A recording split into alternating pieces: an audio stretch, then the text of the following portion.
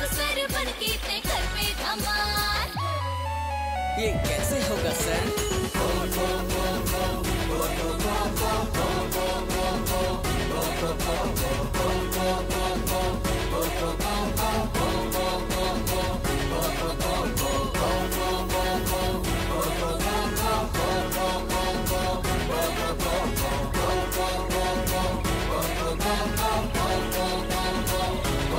Hello friends स्वागत है आपका कंपटीशन कम्युनिटी के टॉप एमसीक्यू सीरीज़ में, जिसमें कल तक हमने पढ़ा था कि कलचुरी वंश के अंतर्गत कौन कौन से प्रमुख शासक हैं, प्रमुख शासकों की क्या क्या विशेष जानकारियाँ हैं, उन विशेष जानकारियों में जो जो अच्छे क्वेश्चन बन सकते थे, वो आपको कराया गया था। उसी क्रम में आगे बढ़ते हुए आज का हमारा टॉपिक क्या है? मराठा शासन। मराठा शासन को हम दो भागों में बांटकर पढ़ेंगे। पहले पाठ के अंतर्गत, सबसे पहले मैं अभी आपको मराठा शासन का स्वरूप एक्सप्लेन कर दूँगा।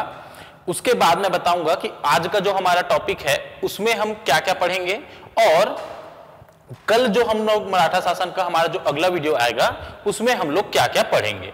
उससे पहले सबके सब जितने आप ऑनलाइन आए हैं, सब वीडियो को लाइक कर दें कमेंट कर दें और अपने फ्रेंड्स को क्या कर दें शेयर कर दें। देखते हैं मराठा शासन। सबसे पहले हम अपना पहला क्वेश्चन देख लेते हैं। पहला क्वेश्चन देखने के बाद हम देखेंगे कि जो छत्तीसगढ़ है, उसके अंतर्गत कैसे मराठा स्वरूप स्थापित हुआ, मराठा शासन क्यों यहाँ पर स्थापित हुआ, कलचुरियों की क्या कमियाँ थी उन कमियों के कारण कैसे मराठा शासन यहाँ पर स्थापित हुआ, इन सभी चीज़ों के बारे में हम क्या करेंगे? सबसे पहले एक विस्तृत चर्चा करेंगे। ठीक है, पहला क्वेश्चन आपको क्या बोल रहा है? छत्तीसगढ़ के रतनपुर राज्य पर आक्रमण करने वाला मराठा सेनापति निम्नलिखित में से कौन था? ठीक है, क्या पूछ रहा है आपको? मराठा सेनापति कौन था?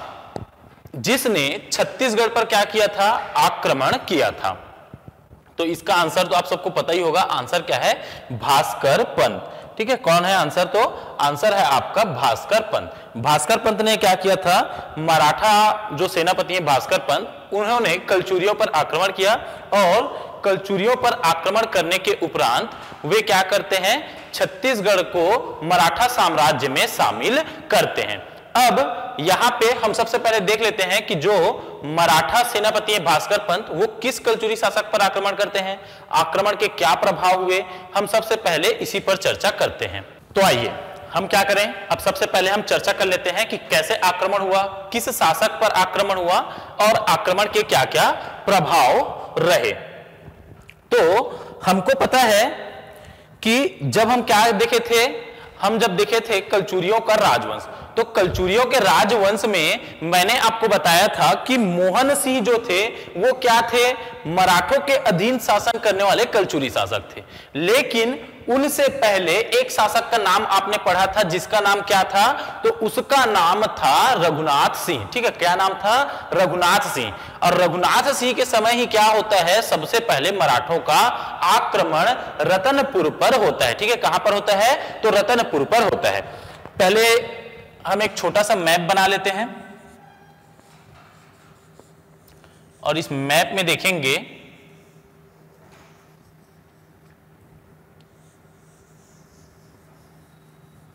कि आक्रमण आपका कैसे और कहाँ पर होता है। मैप हमने बना लिया है, ठीक? और मैंने आपको बताया है कि ये जो एरिया है, छत्तीसगढ़ के बलरामपुर ज़िले से लेकर कहाँ तक का तो आपका मध्य प्रदेश तक का क्षेत्र किसके अंतर्गत आता है? तो यहाँ पर मध्य प्रदेश राज्य है, ठीक है? हमने पढ़ लिया है, कौन सा राज्य है? तो मध्य प्रदेश राज्य है, ठीक? इसके नीचे मध्य प्रदेश के जस्ट नीचे से एक राज्य क्या आता है आपका? तो महाराष्ट्र, जो कि राजनांदगांव से लेकर कहाँ तक? तो बीजापुर तक का जो जिला है हमारा, वहाँ तक क्या करता है? सीमा बनाता है, ठीक है? अब हमको इस समय पता है कि यहाँ पर, ठीक है, कहाँ पे तो रतनपुर में कलचुरी वंश का शासन रहता है, ठीक है? कौन से वंश का शासन है? रतनपुर में कलचुरी वंश का शासन है। और कलचुरी वंश के शासक कौन है यहाँ पर? तो रघुनाथ सिंह हैं, ठीक? कलचुरी वंश के शासक कौन? तो रघुनाथ सिंह क्या रहते हैं? कलचुरी वंश के शासक रहते हैं। रघुनाथ सिंह क्या रहे यहाँ पर कलचुरी वंश के शासक हैं। समझ में आ गया? क्लियर है यहाँ तक बात आपको? ठीक, अब देखते हैं। इनके समकालीन जो छत्तीसगढ़ के पड़ोसी राज्य हैं, वहाँ पर कौन कौन से जो वंश हैं, वो शासन कर रहे थे।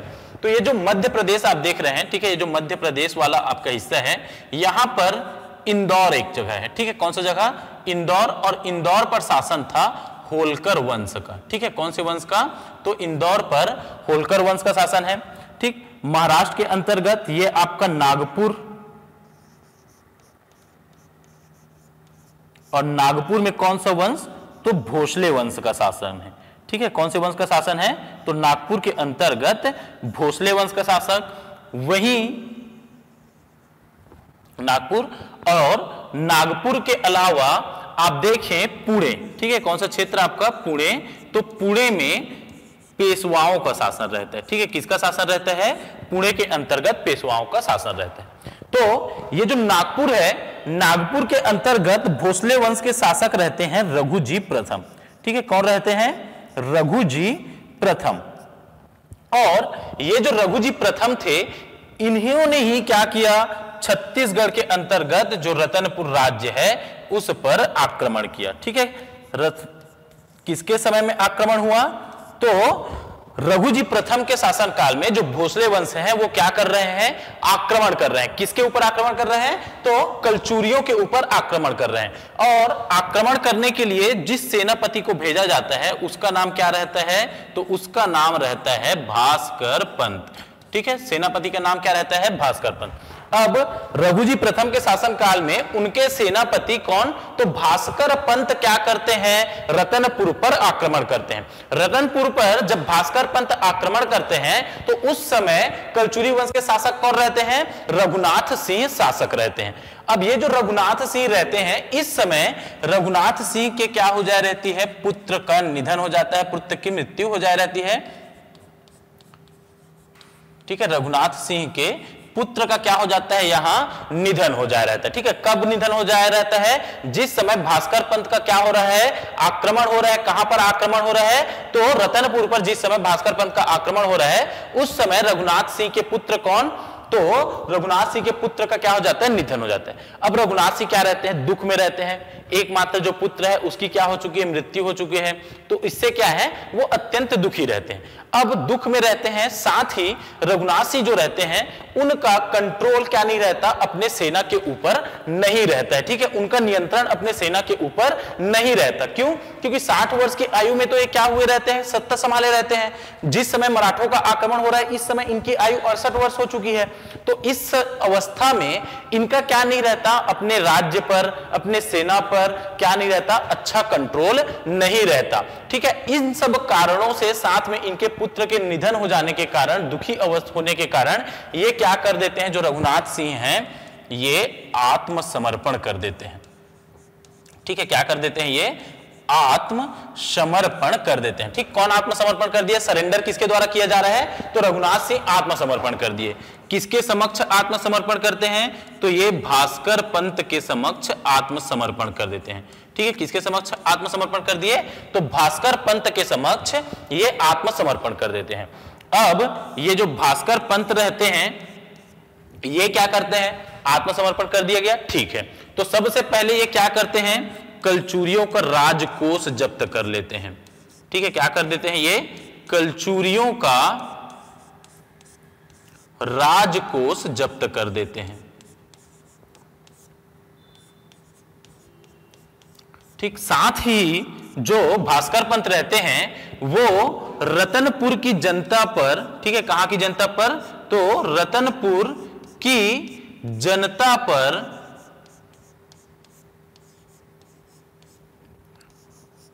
एक लाख का जुर्माना लगाते हैं। ठीक है, किसके ऊपर? तो रतनपुर की जनता के ऊपर एक लाख का जुर्माना।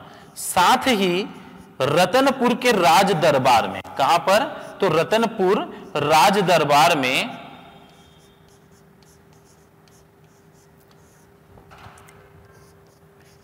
मराठा प्रतिनिधि के रूप में। ठीक है, किसके रूप में? तो मराठा प्रतिनिधि के रूप में कल्याणगिरी गोसाई को नियुक्त करते हैं। मराठा प्रतिनिधि के रूप में कल्याण गिरी गोसाई को नियुक्त करते हैं। मराठा प्रतिनिधि के रूप में कल्याणगिरी गोसाई को क्या करते हैं? नियुक्त करते हैं। कौन? तो भास्कर पंत कल्याणगिरी गोसाई को क्या कर दिए? मराठा प्रतिनिधि के रूप में रतनपुर दरबार में नियुक्त कर दिए। साथ ही रतनपुर की जनता पर एक लाख का जुर्माना लगाते हैं और इसके अलावा जो कलचुरियों का राजकोष है, इसको भी क्या कर लेते हैं? ये जब्त कर लेते हैं। समझ में आ गया बात यहाँ पे? अब ये जो क्षेत्र है ना, ये पता है हमको कि ये क्या है? उत्कल वाला क्षेत्र है, उड़ीसा वाला क्षेत्र है तो इस उत्कल के अंतर्गत एक जगह है जिसका नाम रहता है कटक। ठीक है? अब यहाँ से आक्रमण करने के उपरांत जो, कौन है आपके? भास्कर पंत, वो कहा जाते हैं? कटक में युद्ध करने जाते हैं। और कटक जब युद्ध करने के लिए जाते हैं तो यहाँ पर इस कटक के युद्ध में भास्कर पंत की मृत्यु हो जाती है। ठीक है? क्या हो जाता है? भास्कर पंत की मृत्यु। ठीक है, क्या हो जाती है? कटक युद्ध में भास्कर पंत की मृत्यु हो जाती है। अब जब भास्कर पंत की मृत्यु हो गई कटक युद्ध में तो यहाँ पे जो कलचुरी वंश है, कलचुरी वंश के साथ साथ जो रघुनाथ सिंह हैं, वो क्या कर लेते हैं? इनके मरने के उपरांत फिर से अपने आप को क्या करा लेते हैं? ये स्वतंत्र करा लेते हैं। ठीक है, क्या करा लेते हैं? अपने आप को स्वतंत्र करा लेते हैं और 1741 से 45 तक पुनः क्या करते हैं ये? स्वतंत्र रूप से शासन करते हैं। ठीक है 1741 से 1745 तक क्या करते हैं? जो रघुनाथ सिंह रहते हैं, वो पुनः स्वतंत्र रूप से शासन करते हैं। मतलब पहली बार जो कलचूरी है, वो मराठों के अधीन कब आए? तो 1741 में आए। किसके समय आए? तो रघुनाथ सिंह के समय आए। आक्रमण किसने किया था? तो भास्कर पंत ने किया था। भास्कर पंत कौन थे? तो भास्कर पंत नागपुर के भोसले राजा रघुजी प्रथम के क्या थे? सेनापति थे। ठीक, सब आपको क्या करना है? एक स्टेप बाय स्टेप याद रखना है। एक स्टोरी के फॉर्म में याद रखना है।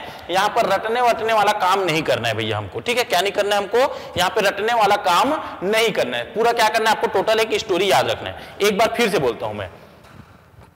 छत्तीसगढ़ में किसका शासन रतनपुर के अंतर्गत? तो कलचुरी वंश का। कलचुरी वंश के शासक कौन है? रघुनाथ सिंह। इसी समय नागपुर में कौन शासन कर रहे हैं? तो नागपुर के अंतर्गत भोसले वंश के शासक रघुजी प्रथम शासन कर रहे हैं। अब रघुजी प्रथम क्या चाह रहे हैं? कि छत्तीसगढ़ पर आक्रमण करेंगे। ठीक है, क्या करेंगे? छत्तीसगढ़ पर आक्रमण करेंगे। क्यों आक्रमण करना है इनको? क्योंकि इनको एक्चुअली आक्रमण करना रहता है कहाँ पर? उड़ीसा और उड़ीसा से लेकर बंगाल। मतलब जो पूर्व के अंतर्गत तटीय क्षेत्र थे, उन पर क्या करना था, अधिकार करना था ताकि इनका व्यापार क्या हो सके, अच्छे से हो सके। इस बीच में किसी भी प्रकार की कोई बाधा ना हो करके सबसे पहले वो क्या करते हैं, कलचुरियों पर विजय प्राप्त करने की कोशिश करते हैं। सबसे पहले कलचुरियों पर हम विजय प्राप्त कर लेते हैं और वहाँ से भी क्या कर लेते हैं, हम धन इकट्ठा कर लेते हैं। ऐसा सोच रहता है किसका तो रघु जी प्रथम का। समझ में आ रहा है बात इनका? फिर ये क्या करे? अपने सेनापति को भेज रहे हैं किनको भास्कर पंत को। कहाँ पर आक्रमण करने के लिए? रतनपुर में। जब रतनपुर में 1741 में पहुँच रहे हैं कौन? भास्कर पंत तो उस समय जो रघुनाथ सिंह है, उनके पुत्र का क्या हो चुका है? निधन हो चुका है। जिससे क्या है? वो शोकाग्रस्त है, शोक अवस्था में है। दूसरा, इनकी उम्र अड़सठ वर्ष हो चुकी है, जिससे सेना पर या अपनी प्रजा पर इनका कंट्रोल क्या नहीं है? अच्छे से नहीं है। मतलब इनके सहयोगी क्या है? यहाँ पर कम है। इन सभी कारणों से, ठीक है, इन्हीं सभी कारणों से जो रघुनाथ सिंह है, वो क्या कर दे रहे हैं यहाँ पे? आत्मसमर्पण कर दे रहे हैं। आत्मसमर्पण कर दे रहे हैं किसके समक्ष? भास्कर पंत के समक्ष। भास्कर पंत फिर क्या कर रहे हैं? सबसे पहले तो करचुरियों का राजकोष जब्त कर ले रहे हैं। क्यों? क्योंकि इनको चाहिए भाई पैसा। है ना? मोला चाहिए का? पैसा। तो पैसा चाहिए तो का कर लीस? तो कलचुरी के राजकोष ला जब्त कर लीस। एकर अलावा का? रतनपुर के जनता। ठीक है, जनता मतलब जितनी भी रतनपुर की जनता है, इन सभी जनता के ऊपर क्या किया उन्होंने? एक लाख रुपए का जुर्माना लगा दिया। साथ ही रतनपुर राज दरबार के अंतर्गत क्या क्या गतिविधि चल रही है? कैसे शासन व्यवस्था संचालित की जा रही है? इन सभी की जानकारी लगातार प्राप्त करने के लिए अपना एक प्रतिनिधि क्या कर दिए? यहाँ पर ये नियुक्त कर दिए। प्रतिनिधि का नाम क्या? कल्याण गिरी गोसाई। या कहीं कहीं पर आपको इन्हीं का नाम क्या मिलता है? कुली नगीर मिलता है। ठीक है इन्हीं का नाम आपको कहीं कहीं पर क्या मिलता है? तो कुली नगीर मिलता है। समझ में आ रहा है बात आपको? क्लियर है? ठीक फिर क्या होता है? भास्कर पंत चले गए कटक। कटक में युद्ध में क्या हो गई? उनकी मृत्यु। मृत्यु उपरांत क्या हो जाता है? जो रघुनाथ सिंह रहते हैं, वो कल्याणगिरी गोसाई या कुलीनगिर को रतनपुर से बाहर कर देते हैं और पुनः स्वतंत्र रूप से शासन करते हैं। ठीक 1741 से 45 तक वो पुनः शासन करते हैं और 1745 में उनकी मृत्यु हो जाती है। जिसके उपरांत जो मोहन सिंह रहते हैं, वो मराठों के सहयोग से क्या करते हैं? कलचुरियों की सत्ता या रतनपुर का शासन प्राप्त करते हैं। तो 1745 से लेकर सत्रह जब तक मोहन सिंह की मृत्यु नहीं हो जाती, तब तक का जो समय है, वो अप्रत्यक्ष मराठा शासन का समय कहलाता है। आगे चर्चा करूँगा। यहाँ तक समझ में आ गया आपको? क्लियर है? ठीक, बना लिए ये। भास्कर पंत आक्रमण किए, सारा स्टोरी समझ में आ गया। किसी को कुछ डाउट नहीं है ना? आराम से लिख लेंगे। आप आराम से दो और चार नंबर में भी जो मराठा आक्रमण का प्रभाव है या मराठा आक्रमण का जो कारण है छत्तीसगढ़ के अंतर्गत प्रारंभिक रूप से, इसको भी आप आराम से बता सकते हैं मेंस के आंसर राइटिंग में। समझ में आ रहा है आपको? ठीक है, सिर्फ़ क्या करना है, आपको वो मैप याद रखना है और मैप के साथ में जो मैंने तीन चार फैक्ट आपको बताए हैं, वो आपको याद रखना है। आप क्या कर पाएँगे? आराम से अपना आंसर राइटिंग भी मराठा आक्रमण के कारण पर कर पाएँगे। क्लियर है यहाँ तक? देखते हैं अब हमारा दूसरा क्वेश्चन दूसरा क्वेश्चन बोल रहा है, निम्नलिखित कथन पढ़िए। क्या बोल रहे हैं? निम्नलिखित कथनों को पढ़ने बोल रहा है। पढ़ लेते हैं पहले पढ़ने बोल रहा है क्वेश्चन तो। ठीक? सबसे पहला क्या बोल रहा है? नागपुर के राजा रघु जी भोसला के सेनापति भास्कर पंत ने रतनपुर पर आक्रमण किया। दूसरा बोल रहा है, रतनपुर राज्य की सेना ने मराठों से युद्ध किया।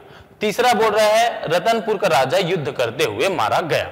अब हमको क्या करना है? सही उत्तर चुनना है यहाँ पे। क्या करना है? सही उत्तर हमको चुनना है। क्या बोल रहा है? एक, दो एवं तीन सही है। एक एवं दो सही है। दो एवं तीन सही है। केवल एक सही है। जल्दी लगाइए अपना आंसर। क्या होता है आपका आंसर? देखता हूँ मैं। जल्दी लगाएँ आंसर आप। क्लियर है? लगा रहे हैं आंसर? Good good. ठीक, चलो एक बार कथन फिर से पढ़ लेते हैं। कथन क्या बोल रहा है? नागपुर के राजा रघुजी भोसला के सेनापति भास्कर पंत ने रतनपुर पर आक्रमण किया। अभी जस्ट हमने देखा कि हाँ इनके जो सेनापति थे, भास्कर पंत, वो क्या कर रहे हैं? आक्रमण कर रहे हैं। इसमें कोई शक वाली बात नहीं है 1741 में भास्कर पंत क्या कर रहे हैं? आक्रमण कर रहे हैं।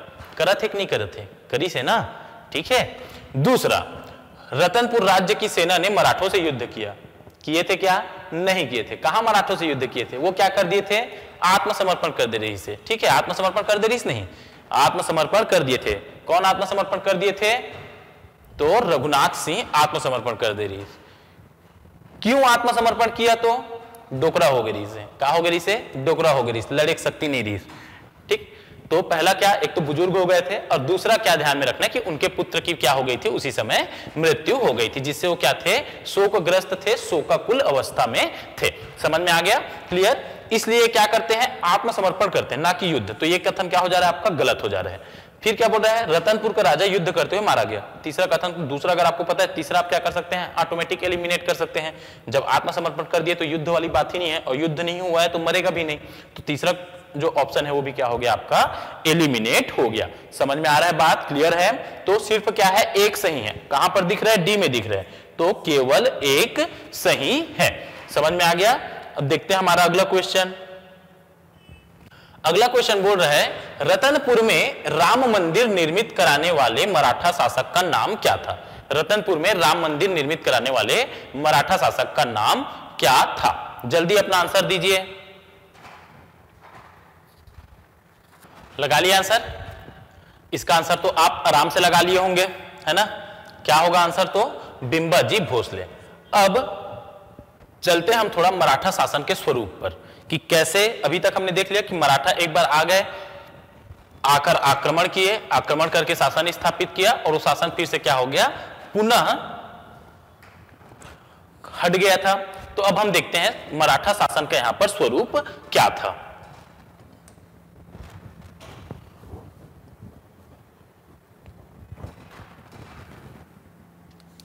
हेडिंग डालेंगे आप, मराठा शासन का स्वरूप। मराठा शासन का स्वरूप। ठीक? तो जो मराठा शासन है, वो छत्तीसगढ़ में पाँच स्वरूपों में शासन करता है। सबसे पहला रहता है अप्रत्यक्ष मराठा शासन, दूसरा है आपका प्रत्यक्ष मराठा शासन, तीसरा शुभा शासन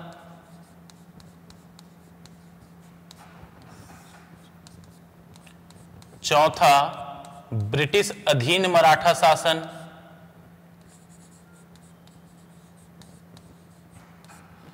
और पांचवा पुनः मराठा शासन।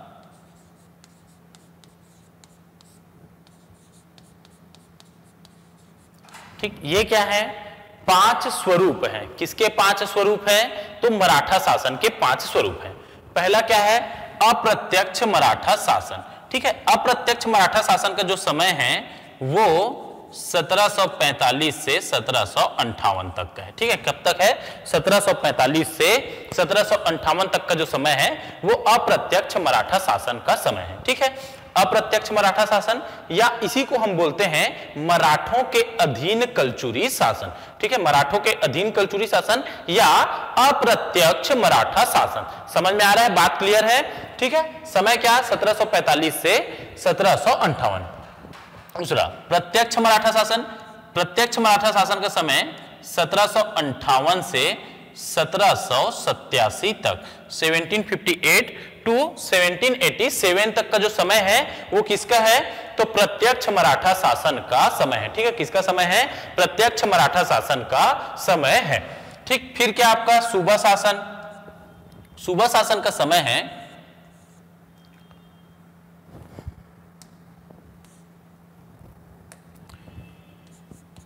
सत्रह सौ अट्ठासी से 1818 तक। और ब्रिटिश अधीन मराठा शासन का समय है 1818 से 1830 और पुनः मराठा शासन फिर 1830 से अठारह सौ चौवन तक। ठीक है? जो प्रत्यक्ष मराठा शासन है, इस प्रत्यक्ष मराठा शासन के अंतर्गत मराठा शासक बिंबाजी भोसले क्या करते हैं? शासन करते हैं। मराठा शासक बिंबाजी भोसले क्या कर रहे हैं? शासन कर रहे हैं। ठीक सुबह शासन के अंतर्गत कुल आठ सूबेदार क्या करते हैं? शासन करते हैं छत्तीसगढ़ में। अभी मैं पढ़ेंगे जब हम लोग सूबा शासन, तब डिटेल में बताऊँगा। अभी आपको नौ सूबेदार भी जानना है तो किस रिपोर्ट के अकॉर्डिंग आपको आठ ध्यान में रखना है? किस रिपोर्ट के अकॉर्डिंग आपको नौ सूबेदार ध्यान में रखना है? अभी आगे चर्चा करूँगा मैं। ठीक? ब्रिटिश अधीन मराठा शासन के अंतर्गत आप छत्तीसगढ़ के अंतर्गत देखेंगे ब्रिटिश अधीक्षक। ठीक है? क्या देखेंगे? ब्रिटिश अधीक्षकों के द्वारा, ब्रिटिश सुप्रिंटेंडेंट के द्वारा क्या किया जाता है? छत्तीसगढ़ में शासन किया जाता है। ठीक है? और कितने ब्रिटिश अधीक्षक नियुक्त हुए? तो छह ब्रिटिश अधीक्षक नियुक्त होते हैं और पुनः मराठा शासन के समय जो शासन है, वो जिलेदारों के माध्यम से किया जाता है। ठीक है? किसके माध्यम से किया जाता है?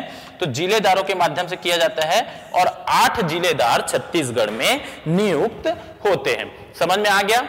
अब ये जो पाँच स्वरूप है, इसमें से अप्रत्यक्ष, प्रत्यक्ष और सुबह शासन। इन तीन स्वरूपों पर क्या करेंगे? आज हम चर्चा करेंगे। किस पर किस पर? तो अप्रत्यक्ष मराठा शासन, प्रत्यक्ष मराठा शासन और सुबह शासन पर हम क्या करेंगे? आज चर्चा करेंगे। फिर जो नज़र आ रहा है आपको, ब्रिटिश अधीन मराठा शासन और पुनः मराठा शासन। इसके अलावा मराठा प्रशासन। कि मराठा प्रशासन कैसा था? ठीक है, मराठा प्रशासन के अंतर्गत कौन सी व्यवस्था कैसे चल रही थी, कर व्यवस्था कैसी थी, प्रशासनिक व्यवस्था कैसी थी, इन सबको क्या करेंगे, हम कल के अपने वीडियो में कवर करेंगे। समझ में आ रहा है? बात क्लियर है यहाँ तक? अब देखो, अप्रत्यक्ष मराठा शासन के अंतर्गत एक आप ध्यान देंगे रतनपुर के कलचुरी और दूसरा आप ध्यान देंगे रायपुर के कलचुरी। ठीक है कहाँ कहाँ के? तो रतनपुर के कलचुरी और रायपुर के कलचुरी। ठीक, कहाँ कहाँ के? रतनपुर के और रायपुर के। आपने पढ़ा है कि रतनपुर के अंतर्गत सबसे पहले किसके समय? तो रघुनाथ सिंह के समय। ठीक है, क्या होता है? मराठों का आक्रमण होता है और 1741 में पहली बार जो कलचुरी वंश है या कलचुरी शासन जो है, वो किसके अधीन आता है? तो कलचुरी वंश या कलचुरी शासन आपका मराठों के अधीन आता है। ठीक, फिर आप दूसरा ध्यान रखेंगे। मोहन सिंह, ठीक है, किसको ध्यान रखना है आपको? मोहन सिंह। मोहन सिंह जो रहते हैं, वो 1745 से सत्रह तक, ठीक है, कब तक? तो 1745 से सत्रह तक किसके अधीन तो मराठों के अधीन रहकर छत्तीसगढ़ में शासन करते हैं? यही समय क्या कहलाता है? अप्रत्यक्ष मराठा शासन का समय कहलाता है। क्लियर है? अब इसके बाद ये जो रायपुर है, ठीक क्या आपका? रायपुर। रायपुर के अंतर्गत आपको ध्यान रखना है पहले शासक के रूप में अमर सिंह। ठीक है, किसको ध्यान रखना है? अमर सिंह। 1750 में अमर सिंह के ऊपर आक्रमण किया जाता है और अमर सिंह को क्या कर लिया जाता है? अमर सिंह को भी मराठा साम्राज्य में शामिल किया जाता है और अमर सिंह को रायपुर, राजिम और पाटन वाला परगना देकर उनसे सात हज़ार टकोली प्रति वर्ष क्या की जाती है? मराठों के द्वारा वसूली जाती है। ठीक है? 1750 से 1753 तक जो अमर सिंह रहते हैं, वो क्या रहते हैं? मराठों के अधीन शासन करते हैं। कौन? 1750 से 1753 तक रायपुर के कलचुरी शासक अमर सिंह मराठों के अधीन शासन करते हैं। क्लियर है यहाँ तक? किसके अधीन शासन कर रहे हैं? तो मराठों के अधीन शासन कर रहे हैं। सत्रह में अमर सिंह की मृत्यु हो जाती है। ठीक है? सत्रह सौ तिरपन में क्या हो जाता है? अमर सिंह की मृत्यु। अब जब अमर सिंह की मृत्यु हो जाती है सत्रह सौ तिरपन में तब उस समय जो अमर सिंह के पुत्र रहते हैं, ठीक है? अमर सिंह के पुत्र कौन? तो शिवराज सिंह। अमर सिंह के पुत्र कौन रहते हैं? शिवराज सिंह। ये अमर सिंह के पुत्र शिवराज सिंह अपने पिता की मृत्यु के समय कहाँ गए रहते हैं? तीर्थ यात्रा पर गए रहते हैं। अपने पिता की मृत्यु समय वो कहाँ गए रहते हैं? तो तीर्थ यात्रा पर गए रहते हैं, ठीक है? तीर्थ यात्रा घूमते रहते हैं। अब उनके पिता की मृत्यु हो गई और जब पिता की मृत्यु हो जाती है तो जो मराठा शासक रहते हैं, वो क्या करते हैं? जो बचा हुआ तीन क्षेत्र रहता है, जो किसको दिया गया रहता है? अमर सिंह को दिया गया रहता है। उन तीन क्षेत्रों पर भी क्या कर लेते हैं? अपना कब्जा कर लेते हैं। मतलब रायपुर, राजिम और पाटन क्षेत्र पर भी क्या कर लिए? वो अपना कब्जा कर लिए। अब तीर्थ यात्रा से घूमकर पहुँचे कौन? अमर सिंह अमर सिंह सॉरी कौन पहुँचे? शिवराज सिंह। शिवराज सिंह पहुँचे, उनको पता चला पिता की मृत्यु हो गई है। साथ में जो परगने, तीन परगने थे हमारे पास, उसको भी क्या कर लिया गया है? बिंबा जी भोसले जो है, वो क्या कर लेते हैं? जब्त कर लेते हैं। तब जो शिवराज सिंह है, वो पहुँचते हैं किसके समक्ष? बिंबा जी के समक्ष। तो बिंबा जी के समक्ष पहुँचते हैं तो जो बिंबा जी रहते हैं, वो शिवराज सिंह को क्या करते हैं? वर्तमान महासमुंद ज़िले के अंतर्गत एक क्षेत्र है बड़गांव। ठीक है, कौन सा क्षेत्र है? बड़गांव। उस बड़गांव क्षेत्र को क्या करते हैं? इस शिवराज सिंह को माफ़ी के तौर पर देते हैं। ले भाई, रख ले जा। एक क्षेत्र को रख लेना, वहाँ पर अपना जीवन दिनचर्या चलाना, ऐसा वाला, ठीक है? और क्या बोलते हैं कि इस क्षेत्र के अंतर्गत जितने भी गाँव हैं, उन सभी गाँव से आप एक एक रुपए क्या कर सकते हैं? वसूल सकते हैं। ठीक है, क्या कर सकते हैं आप? एक एक रुपए वसूल सकते हैं टैक्स के रूप में अपने जीवन निर्वाह के लिए। ठीक, ये व्यवस्था शुरू हो गई कब से? तो सत्रह से ठीक, सत्रह से सत्रह तक फिर क्या रहते हैं? शिवराज सिंह यहाँ पर शासन करते हैं, सत्रह में उनकी भी मृत्यु हो जाती है। क्लियर है यहाँ तक? इसी को क्या बोलते हैं हम? अप्रत्यक्ष मराठा शासन या मराठों के अधीन कलचुरी शासन कहते हैं। क्लियर अब हम चर्चा करते हैं प्रत्यक्ष मराठा शासन पर।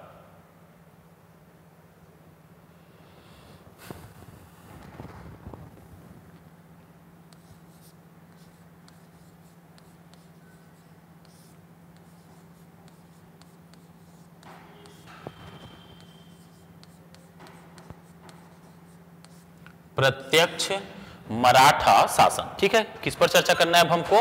तो अब हमको प्रत्यक्ष मराठा शासन पर क्या करना है? चर्चा करना है। प्रत्यक्ष मराठा शासन के अंतर्गत, प्रत्यक्ष मराठा शासन का आपको समय पूछे तो आप क्या बताएँगे? तो बताना है आपको प्रत्यक्ष मराठा शासन का जो समय है, वो सत्रह से सत्रह तक है। ठीक है, कब तक है? सत्रह से सत्रह तक प्रत्यक्ष मराठा शासन का समय है। ठीक, इसमें राजा कौन? तो राजा रहते हैं बिंबाजी भोसले। ठीक है, कौन रहते हैं? बिंबाजी भोसले। प्रत्यक्ष मराठा शासन के क्या रहते हैं? शासक रहते हैं। बिंबाजी भोसले प्रत्यक्ष मराठा शासन के शासक। ठीक? इनकी राजधानी। राजधानी क्या है? तो रतनपुर। ठीक है, राजधानी क्या? रतनपुर। इनकी पत्नी के नाम याद रखना आप। तो इनकी पत्नी, एक तो आपको याद रखना है आनंदी बाई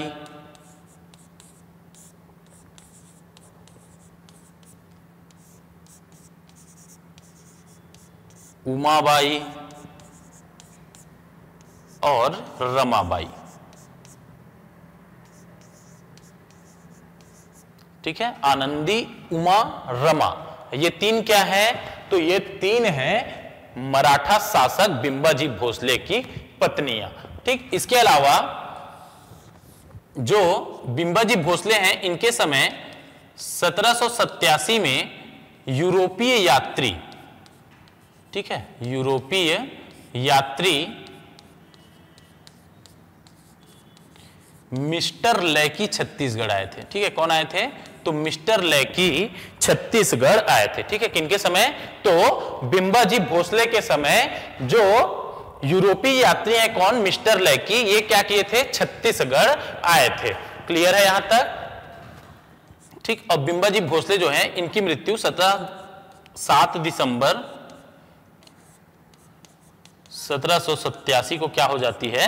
इनकी मृत्यु हो जाती है, ठीक? ये बेसिक इंफॉर्मेशन हो गया किसके बारे में? प्रत्यक्ष मराठा शासन के अंतर्गत शासक बिंबाजी भोसले के बारे में, ठीक? अब हमको पता है कि नागपुर, है ना?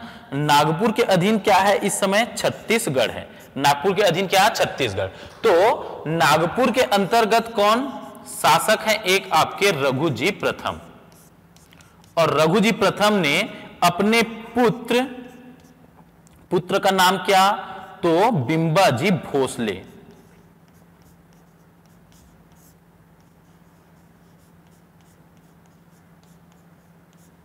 पुत्र बिंबाजी भोसले को क्या करते हैं? छत्तीसगढ़ में शासन के लिए नियुक्त करते हैं। अब हम आगे देखते हैं कि बिंबाजी भोसले हैं, इनके द्वारा छत्तीसगढ़ के अंतर्गत क्या क्या कार्य किए गए।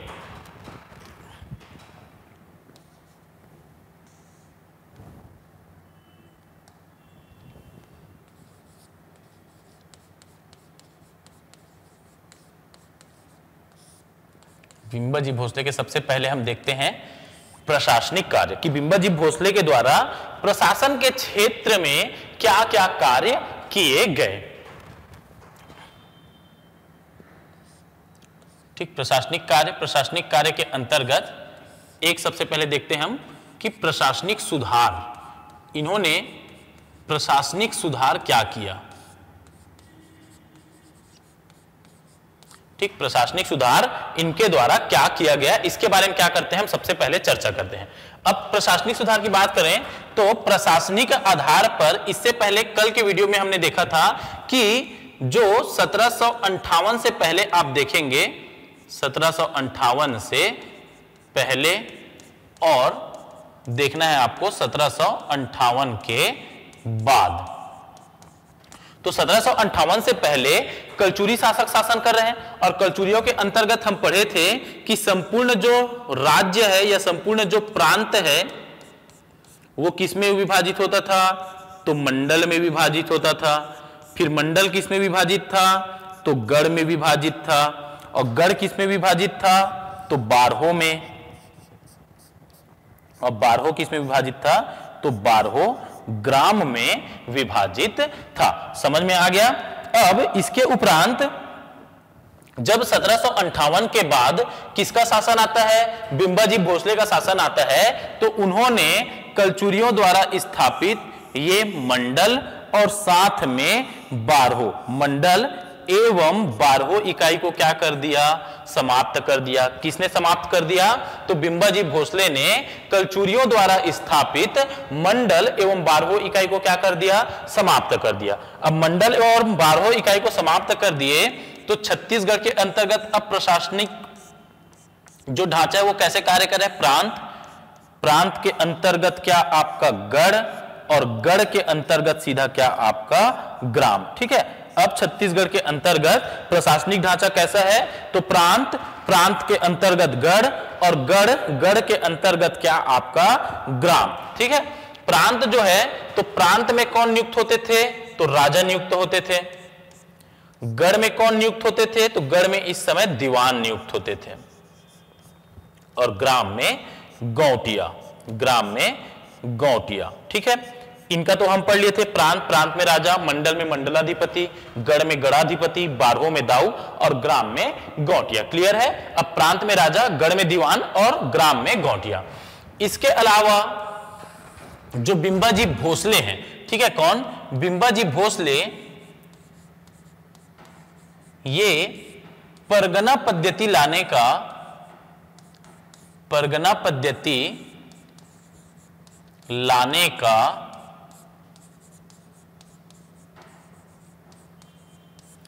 असफल प्रयास करते हैं। ठीक है, क्या करते हैं? परगना पद्धति लाने का असफल प्रयास। आगे हम देखेंगे कि ये जो आप प्रशासनिक ढांचा देख रहे हैं, कहाँ पर? कलचुरियों में, कलचुरियों के बाद बिंबा जी भोसले के में, है ना? इस प्रशासनिक ढांचा में क्या होगा? एक और परिवर्तन आएगा, ठीक है? इस प्रशासनिक ढांचे के अंतर्गत प्रांत को क्या किया जाता है? प्रांत को परगनों में बांटा जाएगा। जैसे अभी आप देख रहे हैं प्रांत प्रांत क्या है? गढ़। गढ़ फिर किसमें बटा है? तो ग्राम में बटा है। तो अभी आगे हम देखेंगे, ठीक है? अभी चर्चा नहीं करता इसको तो प्रांत क्या हो जाएगा? परगनों में विभाजित हो जाएगा। छत्तीसगढ़ का क्या हो जाता है? फिर पूरा प्रशासनिक एकीकरण हो जाता है। इससे पहले तक छत्तीस, जब परगना पद्धति आएगा तो। अभी तक क्या रहता है? जो छत्तीसगढ़ रहता है, वो शिवनाथ नदी के उत्तर में अट्ठारहगढ़ और शिवनाथ नदी के दक्षिण में अट्ठारहगढ़। शिवनाथ नदी के उत्तर में अट्ठारहगढ़ों का मुख्यालय रतनपुर और शिवनाथ नदी के दक्षिण में अट्ठारहगढ़ों का मुख्यालय क्या आपका? तो रायपुर। ठीक है? कलचुरियों के समय ऐसी व्यवस्था कार्य कर रही थी, जिसको बिंबा जी क्या कर देते हैं तो इस समय, देखो, इनके समय में गढ़ व्यवस्था तो है, ठीक है, गढ़ व्यवस्था है, और गढ़ों के आधार पर शिवनाथ नदी के उत्तर में अठारह गढ़ है और शिवनाथ नदी के दक्षिण में अठारह गढ़ है। यह बात तो फिक्स है, ठीक है, कि शिवनाथ नदी के उत्तर में अठारह गढ़ है और शिवनाथ नदी के दक्षिण में भी अठारह गढ़ है। लेकिन कलचुरी के समय क्या हो रहा था? दक्षिण के जो अट्ठारहगढ़ है, उसके मुख्यालय के रूप में रायपुर कार्य कर रहा था और उत्तर में जो अट्ठारहगढ़ है, उसके मुख्यालय के रूप में कौन कार्य कर रहा था? तो उसके मुख्यालय के रूप में रतनपुर कार्य कर रहा था। तो बिंबा जी जब आते हैं तो ये क्या कर देते हैं? रायपुर एवं रतनपुर का प्रशासनिक एकीकरण कर देते हैं। ठीक है, प्रशासनिक एकीकरण हो गया। लेकिन बॉर्डर लाइन क्या रहता है अभी भी? तो शिवनाथ नदी रहता है। उसके दक्षिण में क्या अट्ठारहगढ़ है और उसके उत्तर में अट्ठारहगढ़ है। लेकिन सभी जो छत्तीसगढ़ है, उनका मुख्यालय क्या रहता है? तो उनका मुख्यालय रतनपुर रहता है। समझ में आ रहा है बात? तो जो कलचुरियों के समय, जो छत्तीसगढ़ है, वो 18 18 गढ़ों में बटा था। ये मराठा के समय मतलब मराठा शासक बिंबाजी भोसले के समय क्या हो जाता है? एक हो जाता है। रतनपुर एवं रायपुर का क्या हो जाता है? प्रशासनिक एकीकरण हो जाता है। इसके उपरांत जो बिंबाजी भोसले हैं, वो चाहते हैं कि अब ऐसी कोई व्यवस्था ही ना रहे जिसमें हम क्या माने, किसी एक नदी को आधार लाइन माने, ठीक है बेस लाइन माने, और उसके आधार पर हम पूरे छत्तीसगढ़ को क्या करके रखें, बांट के रखें। वो क्या चाहते थे? संपूर्ण छत्तीसगढ़, अब जब मैं एक कर दिया हूँ तो संपूर्ण छत्तीसगढ़ के अंतर्गत व्यवस्था भी क्या होनी चाहिए? एक होनी चाहिए। उसी व्यवस्था को लाने के लिए क्या करते हैं? परगना पद्धति लाने का प्रयास करते हैं। लेकिन वो क्या रहता हुआ है? क्या होता है? असफल होता है। इसलिए बिंबाजी भोसले को परगना पद्धति का सूत्रधार कहा जाता है। क्या कहा जाता है? परगना पद्धति का सूत्रधार कहा जाता है। ठीक? इसके अलावा एक चीज़ ध्यान में रखना कि रतनपुर एवं रायपुर का क्या किया है इन्होंने?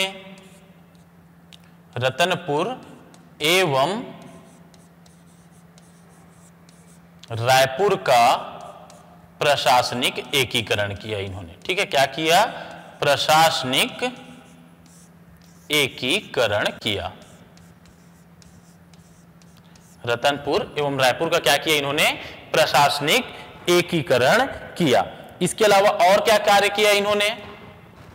तो इसके अलावा जो बिंबाजी भोसले हैं, वो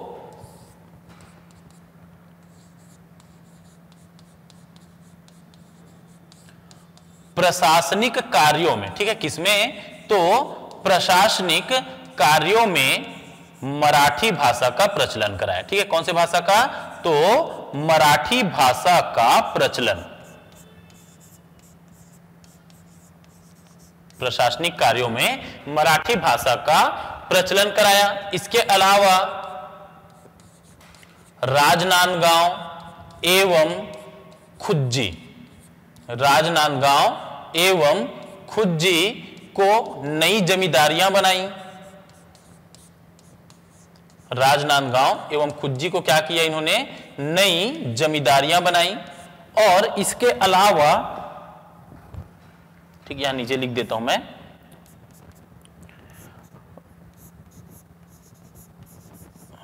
रतनपुर में रतनपुर में नियमित न्यायालय बनवाया। ठीक है, क्या किया? रतनपुर में नियमित न्यायालय बनवाया। ठीक है, ये क्या है? महत्वपूर्ण काम है किसके? तो बिंबाजी भोसले के। पहला क्या ध्यान में रखना है आपको? प्रशासनिक सुधार ध्यान में रखना है कि सत्रह से पहले क्या था? तो प्रांत था, मंडल था, गढ़ था, बारहो था, ग्राम था। ठीक, कलचुरियों के अंतर्गत प्रांत मंडल गढ़ बारहो ग्राम, जिसमें से मंडल और बारहो इकाई को कौन समाप्त कर दिए? बिंबाजी भोसले समाप्त कर दिए। और अपनी प्रशासनिक ढांचा या अपना प्रशासनिक जो खांचा है, वो कैसा तैयार किया? तो प्रांत और प्रांत के बाद सीधा क्या? गढ़ होगा। और गढ़ के नीचे क्या होगा? सीधा ग्राम होगा। फिर क्या? परगना पद्धति लाने का प्रयास किया, लेकिन असफल रहे। इसलिए इन्हें क्या कहा जा रहा है? परगना पद्धति का सूत्रधार कहा जा रहा है। रतनपुर एवं रायपुर का क्या किया इन्होंने? प्रशासनिक एकीकरण किया। फिर क्या प्रशासनिक कार्यों में मराठी भाषा का प्रचलन और इसके अलावा रतनपुर में नियमित न्यायालय की स्थापना। फिर राजनांदगांव खुज्जी में क्या किया? नई जमींदारी बनाई। समझ में आ गया? क्लियर है? अब चलते हम कहाँ पर? अपने क्वेश्चन में। बिंबाजी भोसले लगा लिया आप। देखते हैं अगला क्वेश्चन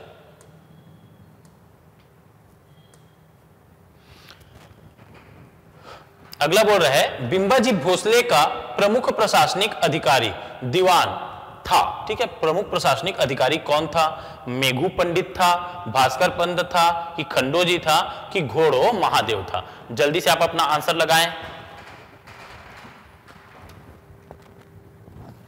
लगा लिया आपने आंसर? लगा लिया कि नहीं लगाया? लगा लिया? तो देखें। जो बिंबाजी भोसले के प्रमुख प्रशासनिक अधिकारी थे, वो थे घोड़ो महादेव। ठीक है, कौन थे? तो प्रमुख प्रशासनिक अधिकारी इनके घोड़ो महादेव थे। ठीक है, कौन थे? घोड़ो महादेव। अब होता क्या है कि जब बिंबाजी भोसले कहाँ से तो नागपुर से छत्तीसगढ़ आते हैं तो वो अपने साथ क्या करते हैं? कुछ अनुभवी व्यक्तियों को छत्तीसगढ़ लेकर आते हैं ताकि उनको प्रशासनिक कार्यों में या राज्य के संचालन में उनका सहयोग प्राप्त हो सके। और बिंबाजी भोसले, छत्तीसगढ़ राज्य मतलब उस समय रतनपुर राज्य का संचालन क्या कर पाए? अच्छे से कर पाए। इसलिए वो क्या करते हैं? तो नागपुर से कुछ लोगों को अपने साथ लेकर आते हैं। ठीक है? जिसमें एक व्यक्ति हैं जिनका नाम है घोड़ो महादेव। ठीक है, क्या नाम है? घोड़ो महादेव। ये क्या थे इनके? प्रमुख प्रशासनिक अधिकारी थे। ठीक, क्या थे? प्रमुख प्रशासनिक अधिकारी। प्रमुख प्रशासनिक अधिकारी। दूसरा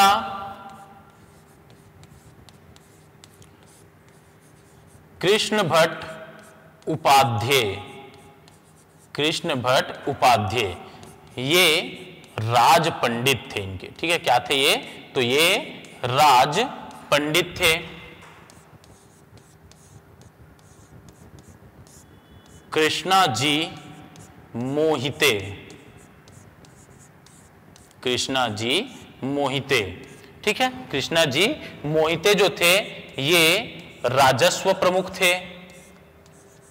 क्या थे ये? राजस्व प्रमुख। इसके अलावा एक व्यक्ति हैं जिनका नाम है नीलू पंडित। नीलू पंडित। नीलू पंडित इनके मुख्य सेनापति थे। नीलू पंडित क्या थे? मुख्य सेनापति थे। फिर एक व्यक्ति का नाम याद रखना आप, कादर खां। ठीक है? ये हमारा हीरो वाला कादर खां नहीं है भाई, ठीक है? ये बिंबाजी भोसले का क्या है? प्रशासनिक अधिकारी कादर खां है। चलो, कादर खां का एक डायलॉग वालोग सुना दो यार, थोड़ा सा कॉमेडी वॉमेडी कर दो, पढ़ के मुझे भी अच्छा लगे, दिन भर से पढ़ा रहा हूँ, है ना? तो थोड़ा सा चलो तो कादर खां का क्या करें आप? एक आप कोई डायलॉग वायलॉग सुना दें, ठीक है? जल्दी से लिख कर बताएँ, ठीक? कोई भी एक डायलॉग बताएँ, कादर खां का सब अलग अलग अलग अलग डायलॉग बताएँ, ठीक? हमारे फ़ेमस एक्टर रहे हैं कौन? कादर खान जी। यहाँ पर कादर खान जो थे, ये सैन्य विभाग के प्रमुख थे। ठीक है, क्या थे? सैन्य विभाग के प्रमुख।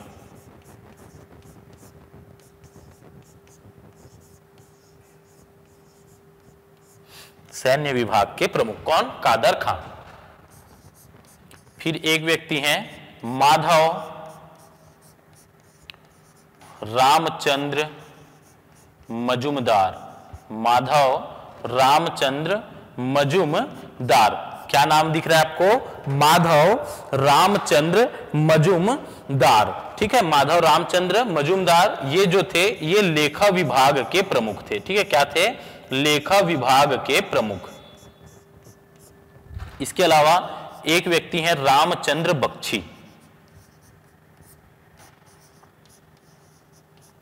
और रामचंद्र बख्शी जी किला प्रमुख थे। किले की सुरक्षा करने वाले प्रमुख व्यक्ति कौन? रामचंद्र बख्शी। ये क्या है? इनके अलावा भी और बहुत सारे लोग थे, लेकिन मुख्य रूप से आपको इनको याद रखना है। पहला क्या? घोड़ो महादेव। घोड़ो महादेव प्रमुख प्रशासनिक अधिकारी, कृष्ण भट्ट उपाध्याय, राज पंडित कृष्णा जी मोहिते, राजस्व प्रमुख, नीलू पंडित, सेनापति, कादर खां, सैन्य विभाग के प्रमुख माधव रामचंद्र मजूमदार, लेखा विभाग और रामचंद्र बख्शी, किला प्रमुख। इन नामों को आप अच्छे से याद रखिएगा।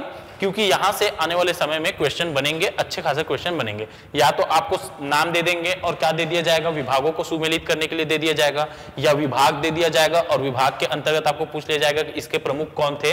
तो इसके लिए क्या कह रहे हैं आप? बिल्कुल तैयार रहें और अच्छे से अपनी तैयारी करते रहें, ठीक है? अपनी तैयारी को क्या करना है आपको? एक सुनिश्चित आयाम देना है, जिससे क्या हो, इस बार आपका प्री बिल्कुल निकलना चाहिए। आपके लिए हम क्या कर रहे हैं, इतना मेहनत कर रहे हैं तो आपको भी क्या रहना पड़ेगा? डेडिकेटेड रहना पड़ेगा अपनी पढ़ाई के लिए। समझ आ रहा है आपको? कुछ नहीं मतलब कुछ नहीं, सिर्फ़ पढ़ाई करना है मतलब पढ़ाई करना है। ठीक, कोई दोस्ती यारी नहीं, कोई गर्लफ्रेंड बॉयफ्रेंड नहीं, सिर्फ़ क्या करना है आपको यहाँ पर अभी? सिर्फ़ और सिर्फ़ आपको पढ़ाई करनी है फरवरी तक। ठीक, फरवरी के बाद भी करना है है ना? प्री के बाद फिर क्या करना है आपको? मेंस की भी तैयारी करनी है। लेकिन ज़्यादा आगे का नहीं सोचना है हमको अभी। अभी हमको सिर्फ़ क्या सोचना है? तो सिर्फ़ प्री तक सोचे। आप प्री तक सोचे और प्री को अच्छे से तैयार करें ताकि प्री का अगर आपका सिलेबस मज़बूत होगा, प्री को आप अच्छे से तैयार रखेंगे तो आपके जितने भी वन डे एग्ज़ाम के होने वाले हैं, उसमें भी क्या हो, आपको फ़ायदा मिले और आप क्या कर पाए, जल्दी से जल्दी अपना एक जॉब अपना एक पोस्ट सिक्योर कर पाए। समझ आ रहा है बात आपको? चलते हैं अब हम, हमारे अगले क्वेश्चन में। अगला क्वेश्चन बोल रहा है बिंबा जी के संदर्भ में निम्नलिखित में से सही उत्तर चुनना है आपको, ठीक है? किसके संदर्भ में? तो बिंबा जी के संदर्भ में निम्न में से सही उत्तर चुनिए। पहला बोल रहा है, बिंबा जी छत्तीसगढ़ से प्राप्त भू राजस्व का कोई हिस्सा नागपुर नहीं भेजते थे। दूसरा बोल रहा है, बिंबा जी ने छत्तीसगढ़ में कमाविजदारों की नियुक्ति की थी। ये कमविजदार हो गया इसको कमाविजदार कर लें आप।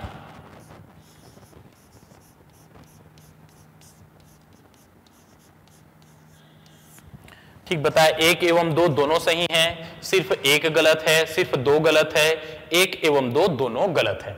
जल्दी से आप अपना आंसर चुने कि कौन सा आंसर जो है, जो कौन सा ऑप्शन है, वो क्या है, आपका सही है। तो मैं थोड़ा सा और चर्चा करता हूँ। जैसे कि अभी मैंने आप लोग को बताया था कि नागपुर के अंतर्गत कौन राजा है तो रघुजी प्रथम। उनके पुत्र कौन? तो बिंबाजी भोसले।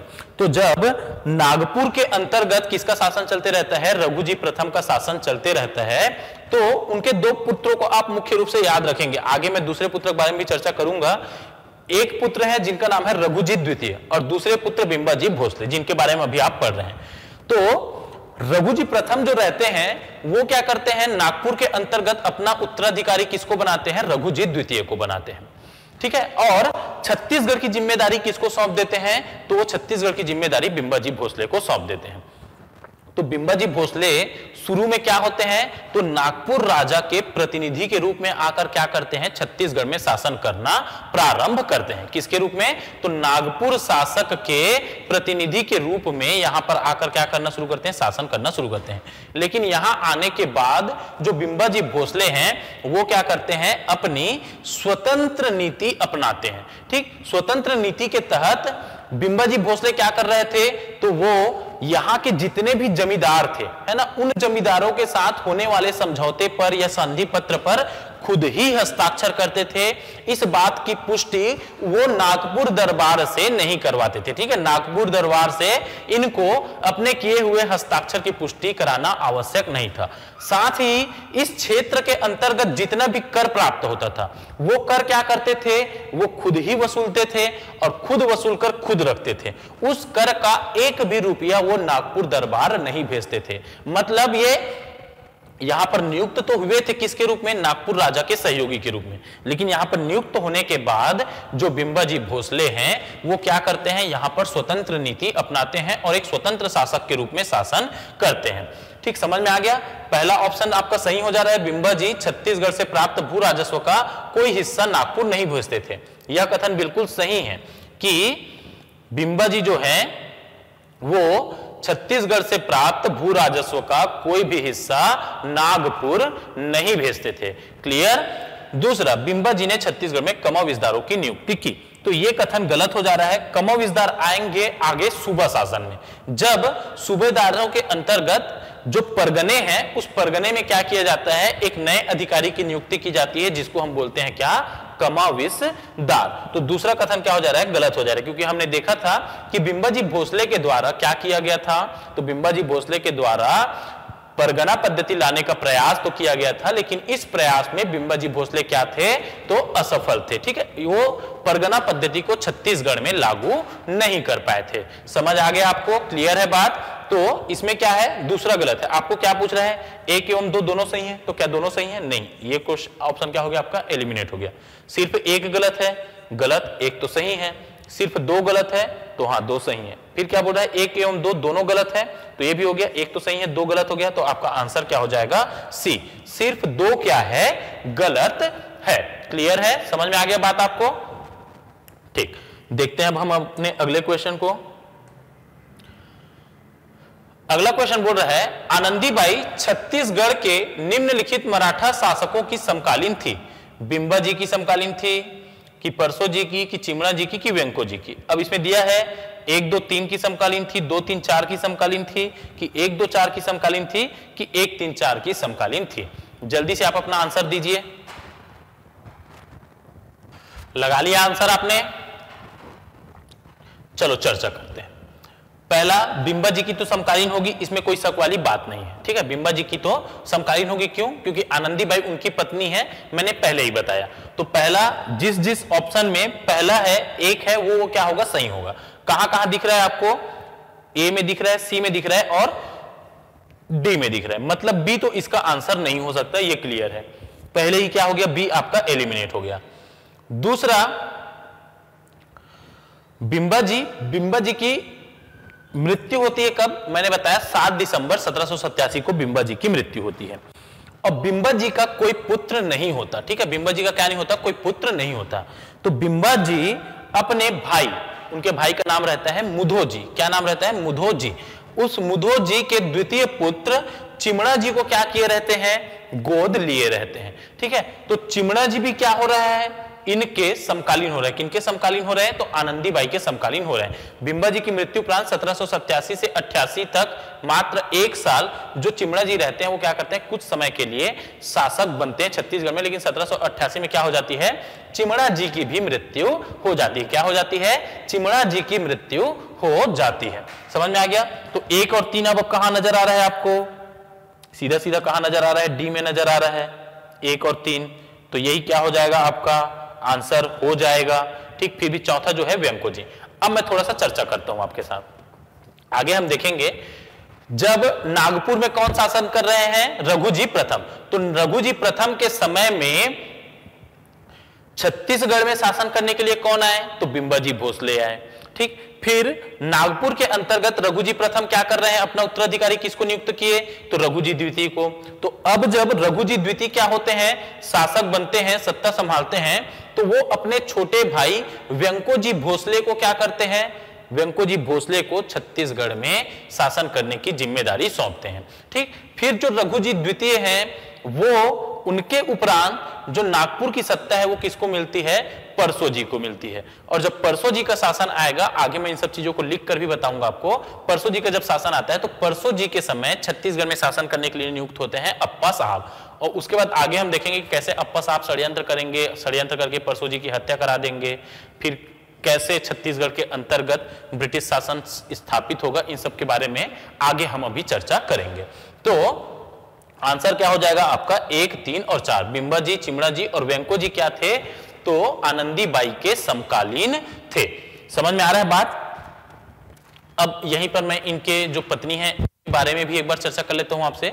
जैसे हम, मैंने बताया आपको कि जो बिंबाजी भोसले हैं, उन बिंबाजी भोसले की कितनी पत्नियाँ? तो तीन पत्नियाँ। पहला क्या? आनंदीबाई, दूसरा उमाबाई और तीसरा रमाबाई। है ना? तीन पत्नियाँ। तो जब 7 दिसंबर सत्रह को बिंबाजी भोसले का क्या हो जाता है? निधन हो जाता है। तो उसके उपरांत जो आनंदीबाई है, ठीक है, ये कौन? आनंदीबाई। ये 1787 से 1801 तक छत्तीसगढ़ का शासन जो है वो इनके द्वारा कंट्रोल्ड रहता है, ठीक है? टोटली कंट्रोल नहीं रहता है, लेकिन इनका क्या रहता है? छत्तीसगढ़ के शासन पर प्रभाव रहता है, ठीक है? तो बिंबा जी की मृत्यु उपरांत आनंदीबाई को क्या हुआ? छत्तीसगढ़ की सत्ता प्राप्त हुई, ठीक? जब आनंदीबाई को सत्ता प्राप्त होती है तो जो राम मंदिर होता है, आगे पीछे जो हमने देखा था, राम मंदिर, है ना? तो राम मंदिर में राम टेकरी का जो मंदिर है, रतनपुर के अंतर्गत, जो बिंबा जी द्वारा निर्मित है, उस मंदिर में ये जो आनंदीबाई रहती है क्या करती है? बिंबा जी भोसले की एक प्रतिमा स्थापित करवाती, ठीक है? क्या करती है?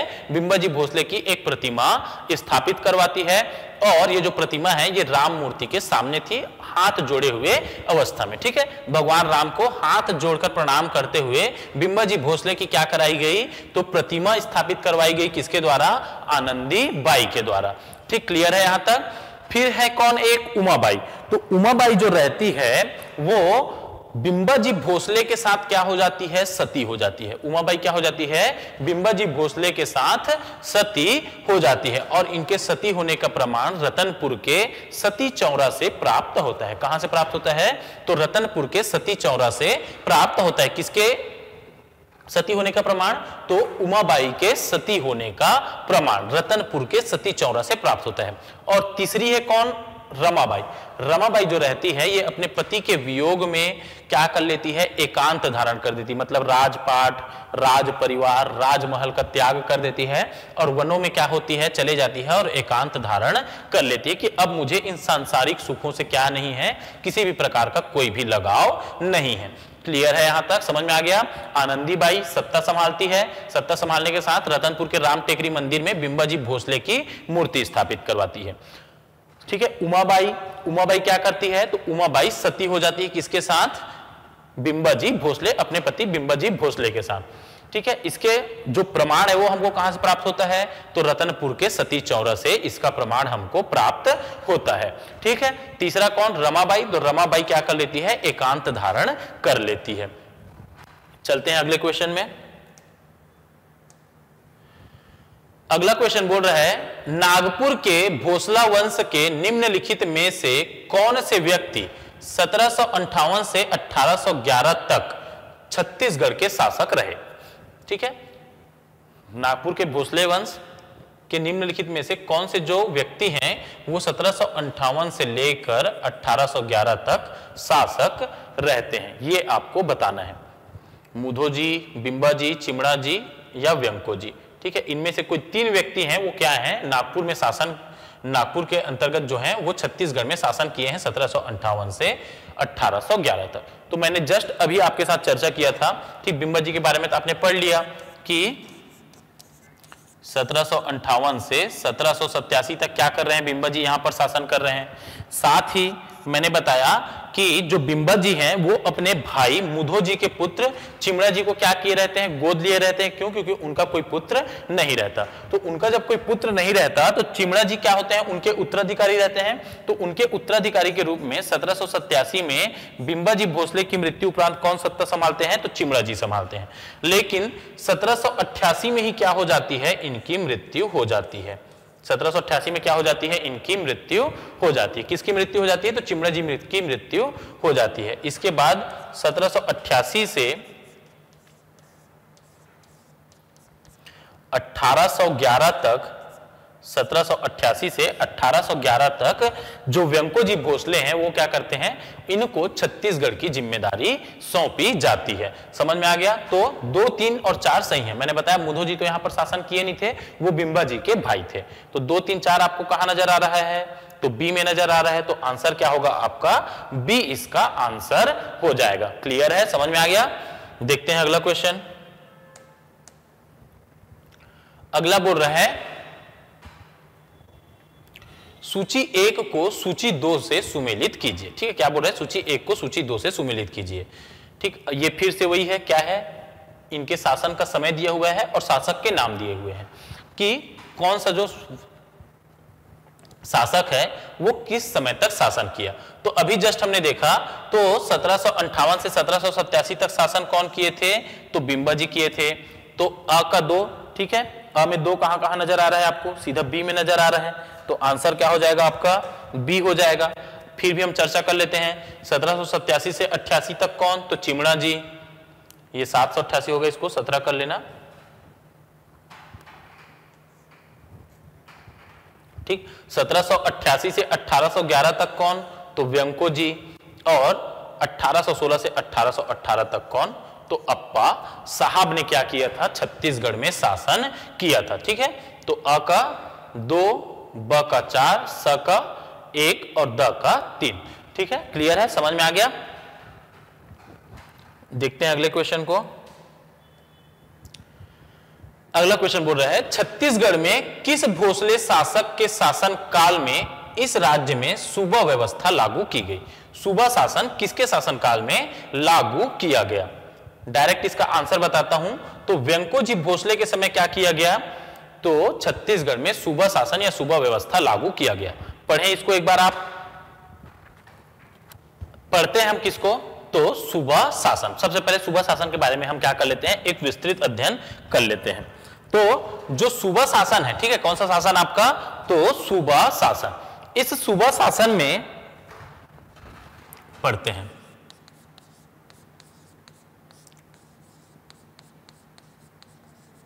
सूबा शासन एवं छत्तीसगढ़। ठीक है, क्या आपका? सुबह शासन एवं छत्तीसगढ़। तो हमने देखा था, फिर वही एक बनाते हैं पैटर्न हम अपना, नागपुर। नागपुर के अंतर्गत कौन शासन कर रहा है? तो छत्तीसगढ़। है ना? नागपुर में कौन है शासक? तो रघुजी प्रथम है। ठीक, रघुजी प्रथम के समय छत्तीसगढ़ का दायित्व तो किसको सौंपा जाता है? तो बिंबाजी भोसले को सौंपा जाता है। ठीक है, किसको दायित्व सौंपा जाता है? तो बिंबाजी भोसले को छत्तीसगढ़ का दायित्व सौंपा जाता है। बिंबाजी भोसले की मृत्यु हो गई सत्रह में और इस समय तक रघुजी प्रथम की भी क्या हो गई है? मृत्यु हो गई है। ठीक है तो ये क्या है? इनके पुत्र हैं और इनके एक पुत्र मैंने अभी आपको बताया, कौन? रघुजी द्वितीय। तो जब रघुजी प्रथम के उपरांत नागपुर के सत्ता कौन प्राप्त कर रहे हैं? रघुजी द्वितीय प्राप्त कर रहे हैं। और जब बिंबाजी भोसले की क्या हो गई मृत्यु और बिंबाजी भोसले के उपरांत चिमड़ा जी की भी क्या हो गई मृत्यु हो गई, तब रघुजी द्वितीय जो रहते हैं, ये अपने छोटे भाई व्यंको जी भोसले, अपने छोटे भाई व्यंको जी भोसले को क्या करते हैं? तो छत्तीसगढ़ का शासक नियुक्त करते हैं, ठीक है? बिंबाजी भोसले के उपरांत छत्तीसगढ़ का अगला शासक कौन नियुक्त हो रहा है? तो व्यंको जी छत्तीसगढ़ में नियुक्त हो रहे हैं, ठीक? इसके बाद आप देखेंगे तो यहाँ पर रघु जी द्वितीय के पुत्र परसो जी, ठीक है? कौन? परसो जी। क्या होते हैं? नागपुर के राजा नियुक्त होते हैं। कौन नियुक्त हो रहे हैं? परसो जी। नरसो जी नहीं करना है, ठीक है? नकल जी करना है। कब करना है? तो परसो जी करना है। रघु जी के बाद ये आज हो गया। रघु जी, प्रथम क्या? आज, द्वितीय क्या? कल और फिर परसों। ठीक? आज, कल और परसों। नर्सों को देखेंगे अभी आगे। है ना? अभी परसों तक रहते हैं हम। ठीक है? परसों जी। आज, कल और परसों। परसों जी जब रहते हैं तो छत्तीसगढ़ के अंतर्गत शासन का दायित्व तो जो रहता है, वो रहता है अप्पा साहब का। ठीक है? कौन रहते हैं? अप्पा साहब। अब होता क्या है इस समय? ये जो बिंबा जी हैं, वो क्या किए? छत्तीसगढ़ में आकर शासन किए। वो समय क्या कहला रहा है? प्रत्यक्ष शासन कहला रहा है। प्रत्यक्ष मराठा शासन कहला रहा है। लेकिन जब रघुजी द्वितीय, अपने छोटे भाई कौन? तो व्यंकोजी भोसले को क्या करते हैं? छत्तीसगढ़ का शासक नियुक्त करते हैं। तो व्यंकोजी भोसले छत्तीसगढ़ आना नहीं चाहते। ठीक है, व्यंकोजी भोसले क्या नहीं चाहते? तो वो छत्तीसगढ़ आना नहीं चाहते थे। उनका जो पूरा फोकस था, वो भी कहा था? तो नागपुर की राजनीति में था। नागपुर में शासन करने में उनको भी इंटरेस्ट था। तो लेकिन अब बड़े भाई क्या कर दिए हैं? आज्ञा दे दिए हैं। साथ में इनको एक उपाधि भी देते हैं। भैया, तू मेरा छोटा भाई तो धुरंधर है। जा छत्तीसगढ़ और छत्तीसगढ़ के अंतर्गत जितनी अव्यवस्था है, जो अव्यवस्था फैला रहा है, उसको क्या कर दे? तो जाके धुन दे। है ना? तू क्या है? धुरंधर है। ऐसा क्या करते हैं? मोटिवेट करते हैं किसको? व्यंको जी को। व्यंको जी बोलते हैं, ना ना, भैया ठीक है, ऐसा मोटिवेशन मेरे कोई काम का नहीं है। अपने को क्या चाहिए तो नागपुर सेंट्रल में रहकर राजनीति करना है अपने को। ऐसा छोटे मोटे छत्तीसगढ़, रतनपुर में जाकर अपने को राजनीति नहीं करना है, ठीक है? ऐसा कौन बोल रहा है? तो व्यंको जी बोल रहा है, ठीक? लेकिन बड़ा भाई बोल रहा है तो बड़े भाई का क्या नहीं कर सकता वो? तो बड़े भाई का आदर के कारण या बड़े भाई के सम्मान के कारण बोलो या बड़े भाई के डर के कारण वो उनको मना भी नहीं कर सकता। तो छत्तीसगढ़ की सत्ता क्या लेता है वो? अपना लेता है। ठीक है, मैं छत्तीसगढ़ में शासन करता हूँ। छत्तीसगढ़ का देख रेख मैं कर लूँगा। लेकिन उनको जाना नहीं था। अब जाना नहीं था तो क्या किए ये? ये एक बीच का रास्ता निकालते हैं। बीच का रास्ता क्या निकालते हैं? तो ये बोलते हैं कि भैया, मैं क्या करता हूँ? अपना एक प्रतिनिधि बैठाता हूँ छत्तीसगढ़ के अंतर्गत, जो क्या करेगा? छत्तीसगढ़ के सभी कार्यों की देखरेख करेगा। और उस देख रेख के करने के बाद छत्तीसगढ़ का जितना भी राजस्व लाकर मेरे को देगा, उसके बदले उसको मैं पेमेंट दे दूँगा, है ना? तो क्या कर लिया ये एक? व्यक्ति नियुक्त करने लग गए कहाँ पर? छत्तीसगढ़ में। और उस व्यक्ति को क्या बोलते थे? सूबेदार बोलते थे। और ऐसी जो व्यवस्था चलती गई, इस समय का जो शासन था, उसको हम लोग क्या बोलते हैं? सूबा शासन बोलते हैं। सूबेदारों के द्वारा किया गया शासन। कौन सा शासन? आपका सूबा शासन या सूबेदारी व्यवस्था, इसको हम बोलते हैं। क्लियर है यहाँ तक? समझ में आ गया? तो ये जो व्यंको जी भोसले हैं, ये क्या कर रहे हैं? छत्तीसगढ़ में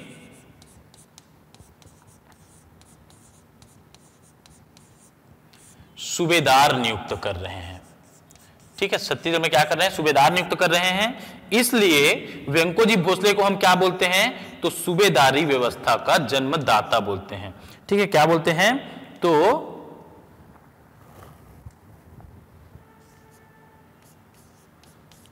सूबेदारी व्यवस्था का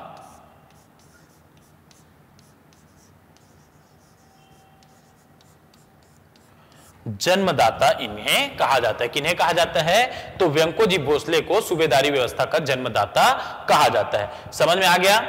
अब सबसे बड़ा क्वेश्चन यह है कि छत्तीसगढ़ के अंतर्गत कितने सूबेदार थे? ठीक? एक चीज़ और लिख लें यहीं पर कि सूबेदार जो है, इनका मुख्यालय, इनका हेडक्वार्टर क्या था? तो इनका हेडक्वार्टर रतनपुर ही था। ठीक है? क्या था? रतनपुर क्या था? इनका हेडक्वार्टर इनका मुख्यालय था। अब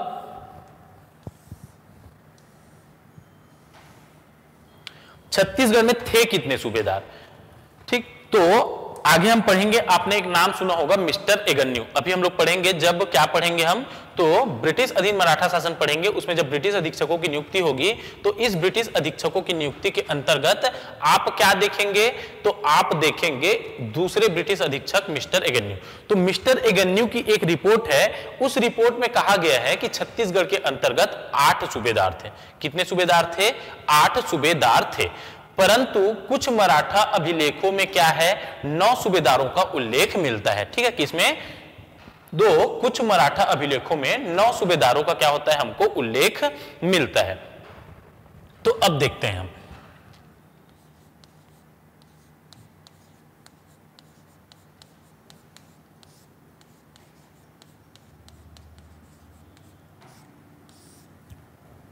सूबेदारी व्यवस्था। सूबेदारी व्यवस्था के अंतर्गत क्या? तो एक हम देखेंगे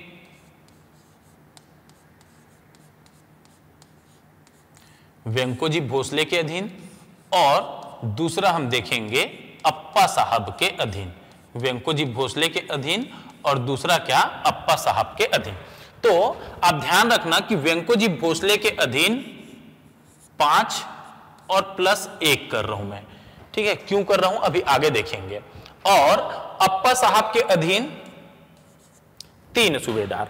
ठीक है? अप्पा साहब के अधीन कितने सूबेदार? तो अप्पा साहब के अधीन तीन सूबेदार। अब व्यंको जी जो भोसले हैं, इनके अधीन कौन कौन से सूबेदार शासन किए?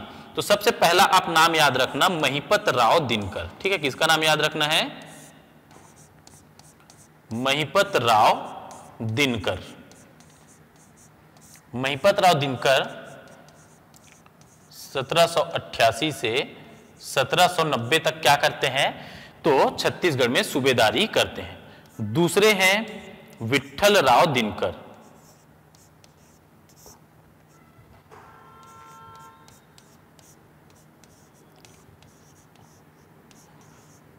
विठल राव दिनकर। इनका समय है 1790 से 1796 तक। विठल राव दिनकर के उपरांत भवानी कालू।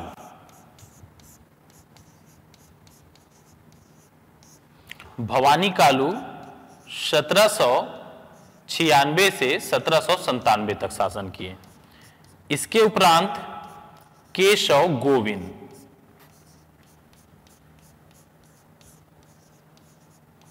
केशव गोविंद ने सत्रह से 1808 तक शासन किया, ठीक है? और बिकोजी पिंडरी।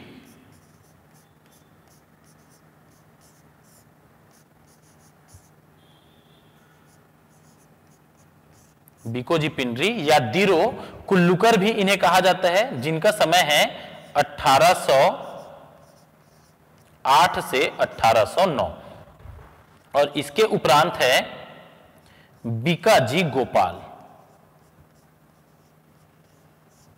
बीकाजी गोपाल।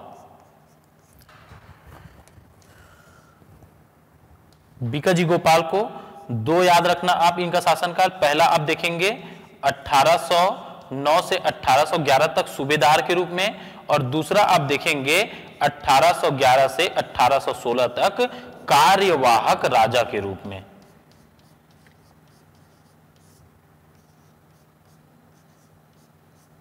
ठीक किसके रूप में देखेंगे? तो कार्यवाहक राजा के रूप में देखेंगे। अब मैं थोड़ा सा चर्चा करता हूँ। मैंने यहाँ पर लिखा है पाँच प्लस एक। और आपको एक डाटा बताया कि एगेन्यू के रिपोर्ट के अनुसार कितना? तो आठ सूबेदार। और कुछ मराठा अभिलेखों में कितना? तो नौ सूबेदार। तो जो एगेन्यू का रिपोर्ट है, उसमें जो व्यंकोजी भोसले के अधीन सूबेदारों की संख्या बताई गई है, वो पाँच बताई गई है। कितना बताया गया है? पाँच बताया गया है।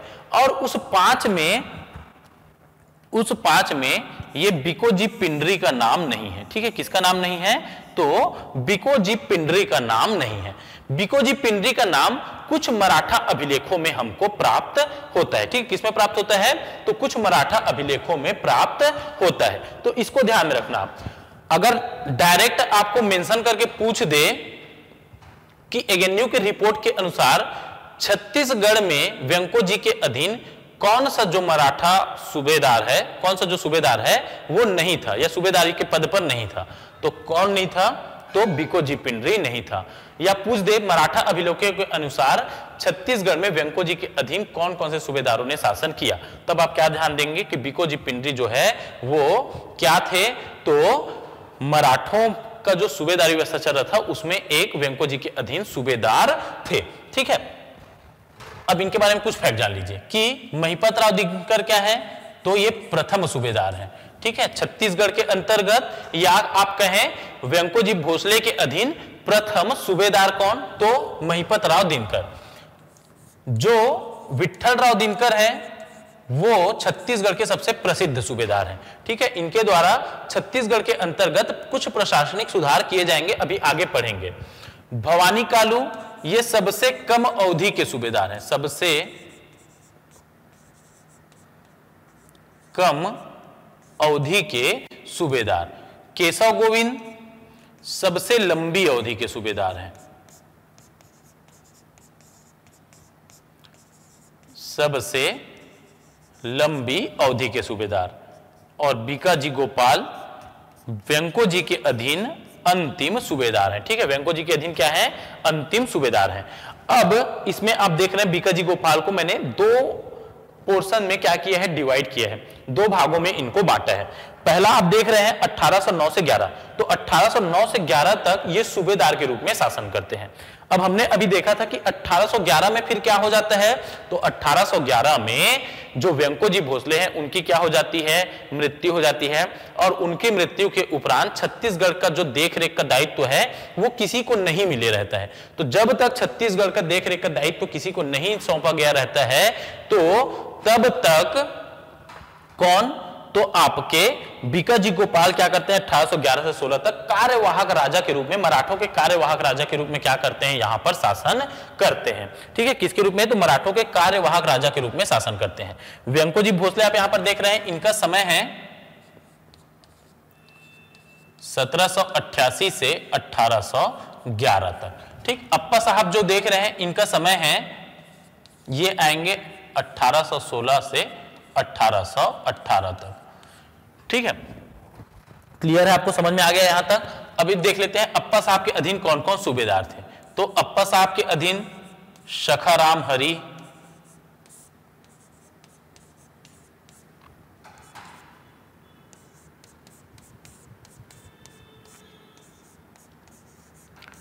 सीताराम टाटिया और यादव राव दिवाकर।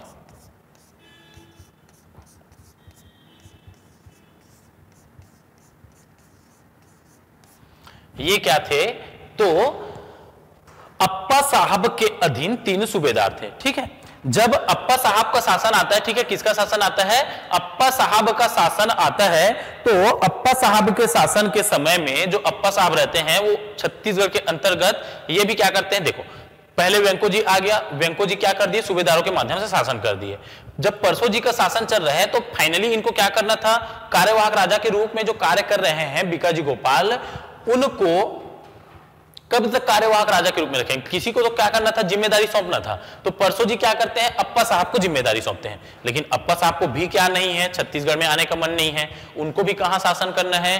तो उनको भी शासन करना है नागपुर में। वो नागपुर में शासन करने के लिए परसों जी के विरुद्ध क्या कर रहे हैं? षड्यंत्र कर रहे हैं। और उनको क्या चाहिए? पैसा भी चाहिए। तो पैसा चाहिए तो ये जो व्यवस्था व्यंको जी ने शुरू की थी, ये व्यवस्था क्या लगती है? तो ये व्यवस्था अप्पा साहब को सही लगती है कि ठीक है भैया, मैं भी यहीं बैठता हूँ, सूबेदार नियुक्त तो करता हूँ, उनसे पैसा लेता हूँ। लेकिन इनका लालच कुछ ज़्यादा बढ़ गया रहता है, ठीक है? इनको और ज़्यादा पैसा चाहिए रहता है। एक तो सूबेदारी व्यवस्था के अंतर्गत सूबेदार ऐसे ही जनता का शोषण कर रहे थे, और ये चाह रहा था कि इतना कम है। और पैसा लाओ तुम, ठीक है? इतने में क्या होगा भैया? और पैसा दो तुम। तो सखाराम हरि सखाराम हरि बाद सीताराम टाटिया सीताराम टाटिया बाद यादव राव दिवाकर। मात्र कुछ समय के अंतर्गत जो अप्पा साहब है वो क्या कर देते हैं? तीन सूबेदारों को क्या कर देते हैं? बदल देते हैं।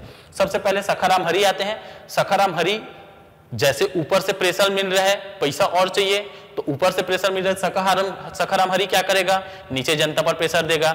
इतने पैसे में क्या हो गया रे? इतने टैक्स में क्या होगा? और टैक्स दो, तुम लोग और कर दो, और मांगे जाए, और मांगे जाए। अब जनता भी कहाँ से दे? है ना? जितना उत्पादन होगा, उतना तो कर देगा। और सभी का सभी कर के रूप में दे देगा तो खाएगा क्या आदमी? ठीक?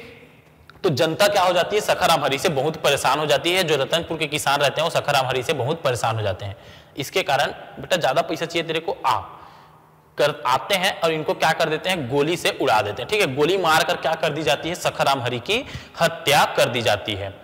निपटा दिया गया। किसको निपटा दिया गया? तो सखाराम हरि को निपटा दिया गया। किसके द्वारा? तो रतनपुर की जनता या रतनपुर के किसानों के द्वारा सखाराम हरि की क्या कर दी जाती है? हत्या कर दी जाती है।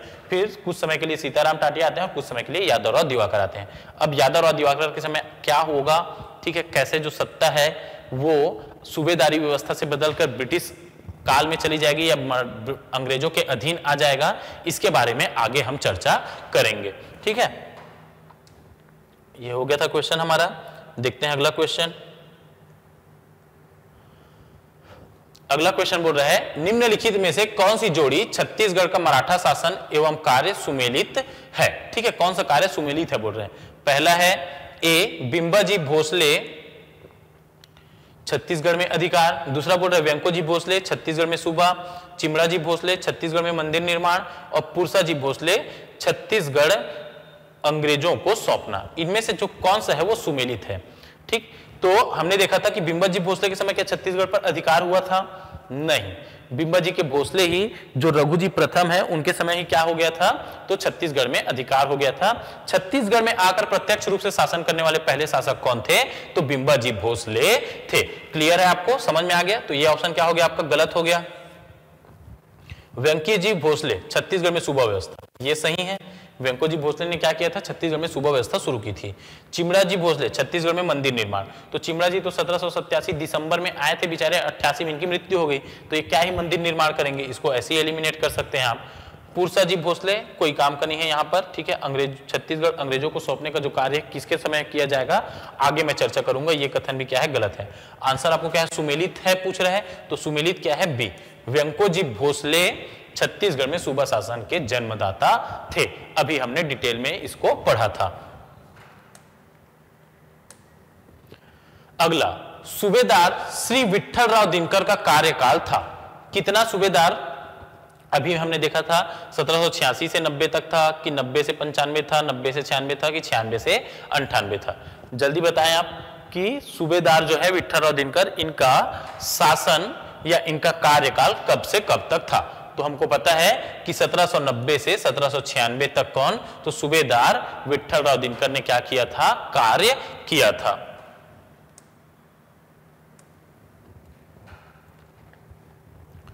सूबा व्यवस्था के अंतर्गत इस राज्य में मराठा सूबेदारों का मुख्यालय निम्नलिखित में से कौन था? मराठा सूबेदारों का मुख्यालय निम्नलिखित में से कौन था? यह आपको बताना है। ठीक है? जल्दी बताएँ आप। लगा लिया आंसर आपने? ठीक, बढ़िया। इससे पहले थोड़ा सा मैं चर्चा कर लेता हूँ अपने पिछले क्वेश्चन पर। पिछला क्वेश्चन किसके बारे में बोल रहा है आपको? विठल राव दिनकर के बारे में बोल रहे हैं। और विठल राव दिनकर हमको पता है कि छत्तीसगढ़ के अंतर्गत द्वितीय एवं प्रसिद्ध सूबेदार है। प्रथम सूबेदार कौन? महिपत राव दिनकर। और जो महिपत राव दिनकर रहते हैं सत्रह से नब्बे तक तो महिपत राव दिनकर के समय में क्या रहता है कि जो रतनपुर की सत्ता रहती है, उस पर बिंबाजी भोसले की पत्नी आनंदीबाई का क्या रहता है? प्रभाव अधिक रहता है। इसलिए महिपत राव दिनकर के द्वारा कोई भी उल्लेखनीय कार्य नहीं किया गया रहता। ठीक है महिपत राव दिनकर के द्वारा नहीं, क्या नहीं किया गया रहता? कोई भी उल्लेखनीय कार्य नहीं किया गया था। ठीक है, एक चीज़ बस आपको ध्यान रखना है महिपत राव दिनकर के लिए कि महिपत राव दिनकर के समय एक यूरोपीय यात्री फॉरेस्टर 1790 में क्या हुए थे? छत्तीसगढ़ आए थे और छत्तीसगढ़ के अंतर्गत रायपुर की उन्होंने क्या की थी? यात्रा की थी। ठीक है, क्या की थी उन्होंने? तो उन्होंने रायपुर की यात्रा की थी। ठीक है, क्या कहा था उन्होंने? तो उन्होंने रायपुर की यात्रा की थी और रायपुर की यात्रा के समय वो बताते हैं अपने रिपोर्ट में, अपने यात्रा विवरण में कि जो बिंबाजी भोसले थे, उनके समय जो रतनपुर राज्य की आय थी, वो व्यंको जी के समय आते आते तक आधी हो गई थी। लगभग छह लाख की आय रहती है किसके समय? तो बिंबाजी भोसले के समय रतनपुर राज्य की। वो लगभग तीन से साढ़े तीन लाख हो जाए रहती है कस के समय में तो व्यंको जी भोसले के समय में, ठीक है? फिर दूसरे जो सूबेदार है, वो कौन रहते हैं? विठल राव दिनकर रहते हैं। अब विठल राव दिनकर के समय विठल राव दिनकर को आपको ध्यान में रखना है इनके प्रशासनिक सुधार हेतु। ठीक है? किसके हेतु? तो इसके प्रशासनिक सुधार हेतु। छत्तीसगढ़ के अंतर्गत मुख्य रूप से प्रशासनिक सुधार इनके द्वारा किया जाता है। ठीक है? फिर से मैं एक बार चर्चा करता हूँ कि कलचुरी के समय प्रशासनिक व्यवस्था कैसी थी और कलचुरी के बाद मराठों के समय मराठा मराठा के अंतर्गत भी बिंबाजी भोसले को ध्यान देते हैं ठीक है? किसको ध्यान देते हैं? बिंबाजी भोसले। कलचुरी कलचुरी के बाद फिर बिंबाजी भोसले बिंबाजी भोसले के उपरांत विठल राव दिनकर।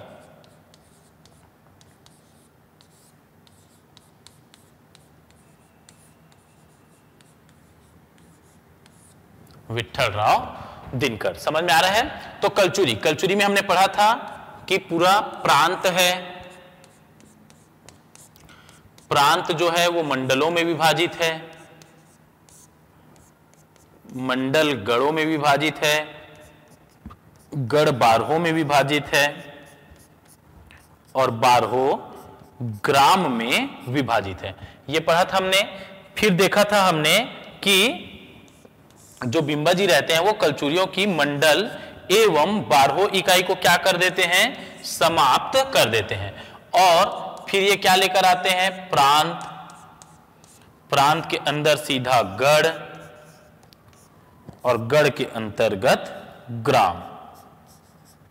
ठीक, फिर विठ्ठलराव दिनकर। विठ्ठलराव दिनकर जो रहते हैं, ये बिंबा जी द्वारा प्रयास किया गया एक अभियान, क्या? परगना पद्धति लाना। उस परगना पद्धति को क्या करते हैं ये? छत्तीसगढ़ में सफल रूप से लागू करते हैं। प्रांत प्रांत के अंतर्गत परगना और परगने के अंतर्गत आपका क्या? तो ग्राम।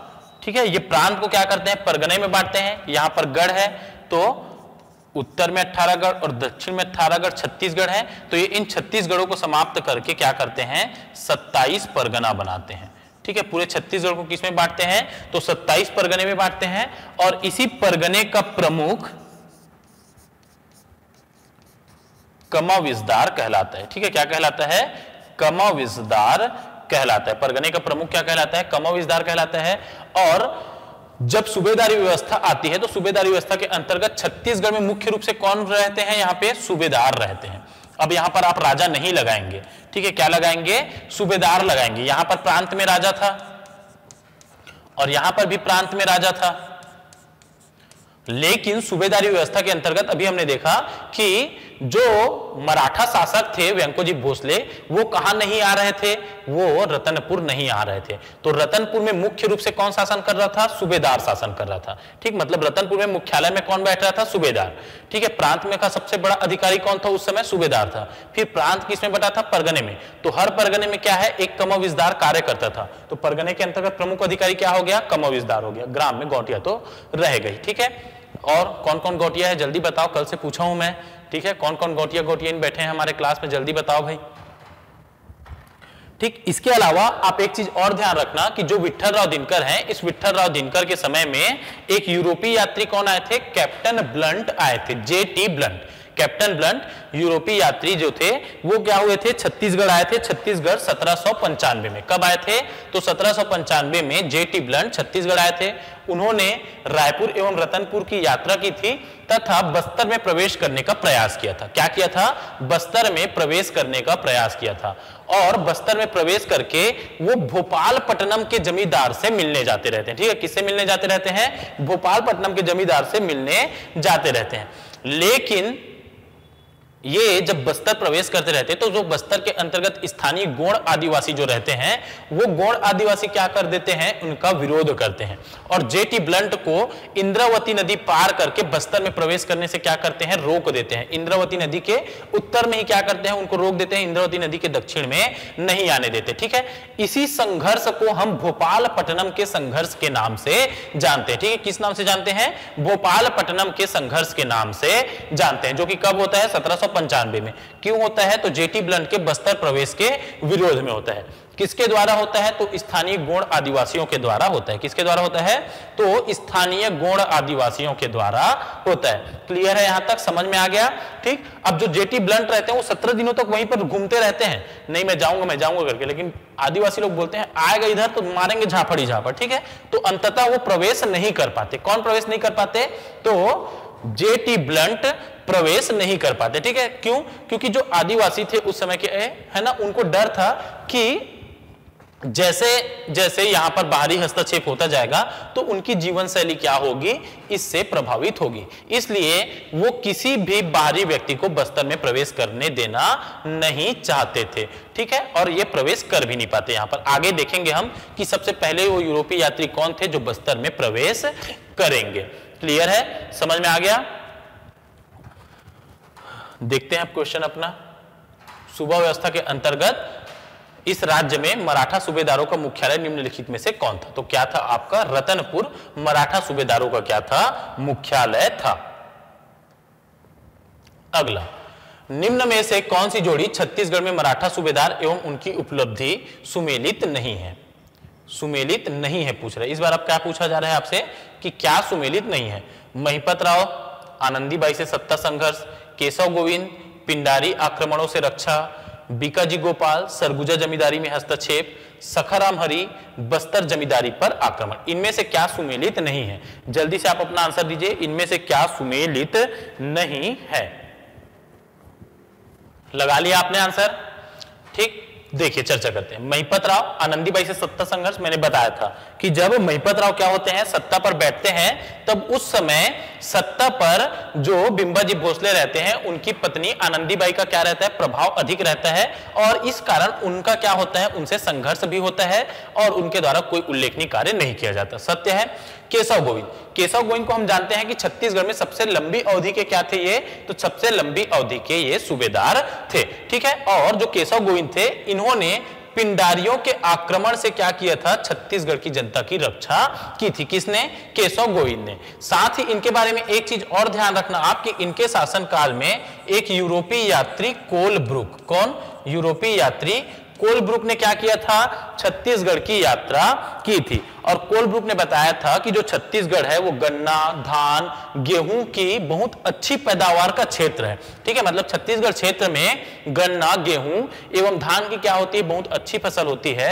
लेकिन यहाँ के जो व्यापारी हैं, वो क्या नहीं करते? यहाँ के किसानों को उन सभी फ़सलों का सही जो मूल्य है, वो नहीं देते, सही रेट वहाँ पर उनको नहीं दिया जाता। किसानों के साथ क्या हो रहा है? सूबेदारी व्यवस्था के अंतर्गत शोषण हो रहा है। बीकाजी गोपाल बीकाजी गोपाल को हमने देखा था कि वेंकोजी भोसले के अधीन क्या थे ये? छत्तीसगढ़ के अंतिम सूबेदार थे। साथ ही हमने देखा था कि 1809 से 1811 तक ये क्या रहते हैं? तो सूबेदार के रूप में शासन करते हैं। 1811 में क्या हो जाती है फिर? तो 1811 में वेंकोजी भोसले की मृत्यु और वेंकोजी भोसले की मृत्यु उपरांत अप्पा साहब जब तक छत्तीसगढ़ का क्या नहीं करते, सत्ता नहीं संभालते, तब तक 1811 से 1816 तक जो बीकाजी गोपाल रहते हैं, वो क्या करते हैं? तो छत्तीसगढ़ में कार्यवाहक राजा के रूप में शासन करते हैं। साथ ही इन्होंने सरगुजा और जो छोटा नागपुर रियासत रहता है, इनके मध्य जो जमींदारों का विवाद रहता है, उसमें क्या करते हैं? हस्तक्षेप करते हैं। और दोनों के मध्य, ठीक है, किनके किनके मध्य? सरगुजा रियासत और छोटा नागपुर क्षेत्र के मध्य विवाद का क्या करते हैं ये? निपटारा भी करते हैं, ठीक? सखाराम हरी सखाराम हरी कुछ समय के लिए रहते हैं, बेचारे को क्या कर दिया जाता है? गोली मार दिया जाता है, अभी बताया था मैंने, है ना? और ये अप्पा साहब के अधीन क्या रहते हैं? प्रथम सूबेदार रहते हैं और इनके द्वारा किसी भी प्रकार से बस्तर जमींदारी पर आक्रमण नहीं किया गया था। तो यही सुमेलित नहीं है। आंसर क्या होगा आपका? सखाराम हरि। अगला बोल रहा है, मराठा शासन काल में छत्तीसगढ़ में सूबा व्यवस्था के संबंध में निम्न में से कौन सा कथन सत्य है? क्या जानना है हमको यहाँ पर? कौन सा कथन सत्य है? मराठा शासन काल में छत्तीसगढ़ में सूबा व्यवस्था के संबंध में निम्न में से कौन सा जो कथन है, वो सत्य है। ठीक है, कौन सा कथन सत्य है? सूबेदार छत्तीसगढ़ में स्वतंत्र मराठा शासक थे। दूसरा, सूबेदार नागपुर के भोसला शासक के प्रतिनिधि थे। सूबेदार छत्तीसगढ़ स्थित भोसला शासक के प्रति का अधिकारी था और चौथा सूबेदार का पद वंश परंपरा गत होता था। ठीक है? सूबेदार का जो पद है, वो वंशानुगत होता था। इसका कहने का मतलब ये है। इसमें से जो कौन सा कथन है, वो सत्य है, आपको बताना है। तो हमने देखा था कि सूबेदार छत्तीसगढ़ में स्वतंत्र मराठा शासक नहीं थे, है ना? स्वतंत्र मराठा शासक वे यहाँ पर नहीं थे, है ना? तो ये कथन क्या हो जा रहा है आपका? गलत हो जा रहा है। सूबेदार छत्तीसगढ़ में स्वतंत्र मराठा शासक थे तो गलत। स्वतंत्र मराठा शासक यहाँ पर नहीं थे। सूबेदार नागपुर के भोसला शासक के प्रतिनिधि थे कि सूबेदार छत्तीसगढ़ स्थित भोसला शासक के अधिकारी थे। तो आप देखें जो नागपुर के भोसला शासक थे, वो क्या कर रहे थे? एक मराठा को या एक अपने ही भाई बंधुओं को क्या करते थे? छत्तीसगढ़ में शासन का दायित्व तो सौंपते थे। अब उनमें से जो एक भाई बंधु हैं, जो छत्तीसगढ़ में शासन का दायित्व तो जिनको सौंपा गया है, वो क्या कर रहे हैं? छत्तीसगढ़ में सूबेदारों के माध्यम से शासन कर रहे हैं। जैसे रघुजी द्वितीय है। रघुजी द्वितीय क्या कर दिए? वेंकोजी भोसले को छत्तीसगढ़ में शासन करने के लिए नियुक्त कर दिए। रघुजी द्वितीय क्या कर दिए? तो छत्तीसगढ़ में शासन के लिए नियुक्त कर दिए किसको? तो वेंकोजी भोसले को। वेंकोजी भोसले क्या कर रहे हैं? छत्तीसगढ़ की सत्ता सूबेदारों के माध्यम से संचालित कर रहे हैं। तो सूबेदार छत्तीसगढ़ स्थित भोसला शासक का अधिकारी था यह कथन क्या होगा? बिल्कुल सही होगा। ठीक है? अगर मान लो यह कथन सही नहीं होता मतलब यह कथन आपका नहीं रहता, सी आपका ऑप्शन में नहीं रहता, तब आपका बी सही हो जाता। लेकिन इन दोनों ऑप्शनों में से भी ज़्यादा सही क्या है आपका? तो सूबेदार छत्तीसगढ़ स्थित। मतलब व्यंकोजी भोसले को तो जो रघुजी द्वितीय है, वो क्या कर दिए हैं? छत्तीसगढ़ के लिए नियुक्त कर दिए हैं। तो छत्तीसगढ़ स्थित भोसला शासक का क्या था? अधिकारी था। कौन? तो सूबेदार, ना कि नागपुर के रघुजी द्वितीय का अधिकारी था। किसका अधिकारी था? तो वो वेंकोजी भोसले का अधिकारी था। किसकी बात मानता था? तो वेंकोजी भोसले की बात मानते था। ठीक है, किसके आधार पर वो यहाँ पर कर वसूलता था? तो वेंकोजी भोसले के आदेश के आधार पर कर वसूलता था, ना कि रघुजी द्वितीय के आदेश के आधार पर कर वसूलता था। समझ में आ रहा है? तो इसका आंसर क्या हो जाएगा आपका? सूबेदार, छत्तीसगढ़ स्थित भोसला शासक का क्या था? अधिकारी था। समझ में आ गया? क्लियर? अब देखते हैं अगला क्वेश्चन अगला क्वेश्चन बोल रहे हैं, छत्तीसगढ़ के प्रथम सूबेदार महिपत राव दिनकर के समय में शासन की सारी शक्तियाँ आनंदीबाई के हाथों में थी। दूसरा, सूबेदार विठल राव दिनकर ने प्रशासन में परगना पद्धति लागू की। तीसरा, सूबेदार बीकाजी गोपाल के समय छत्तीसगढ़ में पिंडारियों ने लूट की। सही उत्तर चुनना है। एक, दो, तीन सही है, एक, दो सही है, दो, तीन सही है, एक एवं तीन सही है। जल्दी से उत्तर चुनिए आप। लगा लिया आपने आंसर? चर्चा करें फिर से इसके कथनों पर। तो क्या बोल रहा पहला कथन? छत्तीसगढ़ के प्रथम सूबेदार महिपत राव के समय शासन की सारी शक्तियाँ किसके हाथ में थी? आनंदीबाई के हाथ में थी, बिल्कुल सही है। दूसरा, सूबेदार विठल दिनकर ने प्रशासन में परगना पद्धति शुरू की, पूरा डिटेल में अभी पढ़ लिया हमने ये कथन भी बिल्कुल सही है। और तीसरा बोल रहा है, सूबेदार बीकाजी गोपाल के समय छत्तीसगढ़ में पिंडारियों ने लूट की। तो ये कथन भी बिल्कुल सही है कि लूट होती है। तीन चीज़ अब पिंडारियों के संबंध में याद रखना। पहला, केशव गोविंद जो रहते हैं, उनके समय में आक्रमण होता है, लेकिन वो क्या कर लेते हैं? उनके मतलब पिंडारियों के आक्रमण से छत्तीसगढ़ की जनता की क्या कर देते हैं? वो सुरक्षा करते हैं। ठीक है? छत्तीसगढ़ के, छत्तीसगढ़ की सुरक्षा करते हैं किसे? पिंडारियों के आक्रमण से। जो बीकाजी गोपाल रहते हैं, इनके समय में पिंडारियों का जो आक्रमण है, ठीक है, पिंडारी जो आक्रमण कर रहे थे, ये पिंडारियों का आक्रमण अपने चरम सीमा पर था। ठीक है मतलब सबसे ज़्यादा लूटपाट की घटना पिंडारियों द्वारा किसके शासनकाल में हुई? तो बीकाजी गोपाल के समय में हुई। फिर तीसरा एक याद रखना, अप्पा साहब के अधीन अंतिम मतलब तीसरे सूबेदार और छत्तीसगढ़ के अंतिम सूबेदार यादव और दिवाकर के समय में क्या होता है? तो छत्तीसगढ़ के अंतर्गत पिंडारियों का दमन किया जाता है। किसका दमन किया जाता है? पिंडारियों का दमन किया जाता है। तो तीनों कथन क्या है? आपके सही हैं। तो एक, दो एवं तीन क्या है? यहाँ पर आपका सही कथन है। ठीक है? सही आंसर है। ठीक, अगला बोल रहा है, सुमेलित करने बोल रहा है आपको। सूची एक को सूची दो से। छत्तीसगढ़ में पदस्थ मराठा शासक, मराठा सूबेदार एवं उनके घटनाएँ। चार सूबेदार दिए हैं और चार घटनाएँ दी गई है। इसमें महिपत राव दिनकर के समय क्या हुआ था? विठल दिनकर के समय क्या हुआ था? केशव गोविंद के समय क्या हुआ था? और आपका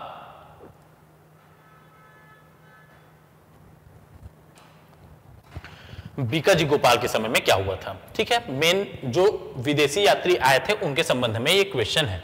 तो हमने देखा था कि महिपत राव दिनकर के समय कौन आए थे? तो फॉरेस्टर आए थे 1790 में।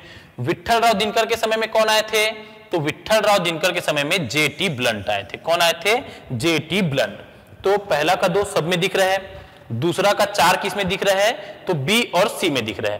तो आपका ए और डी क्या हो जा रहा है? यहाँ पर एलिमिनेट हो जा रहा है। आगे देखते हैं केशव गोविंद। तो केशव गोविंद के समय में कौन आए थे? कोल ब्रुक आए थे। केशव गोविंद के समय में कौन आए थे? कोल ब्रुक आए थे। तो कोल ब्रुक तो तीसरा का क्या? आपका एक। दो दो के बाद चार और चार के बाद एक, है ना?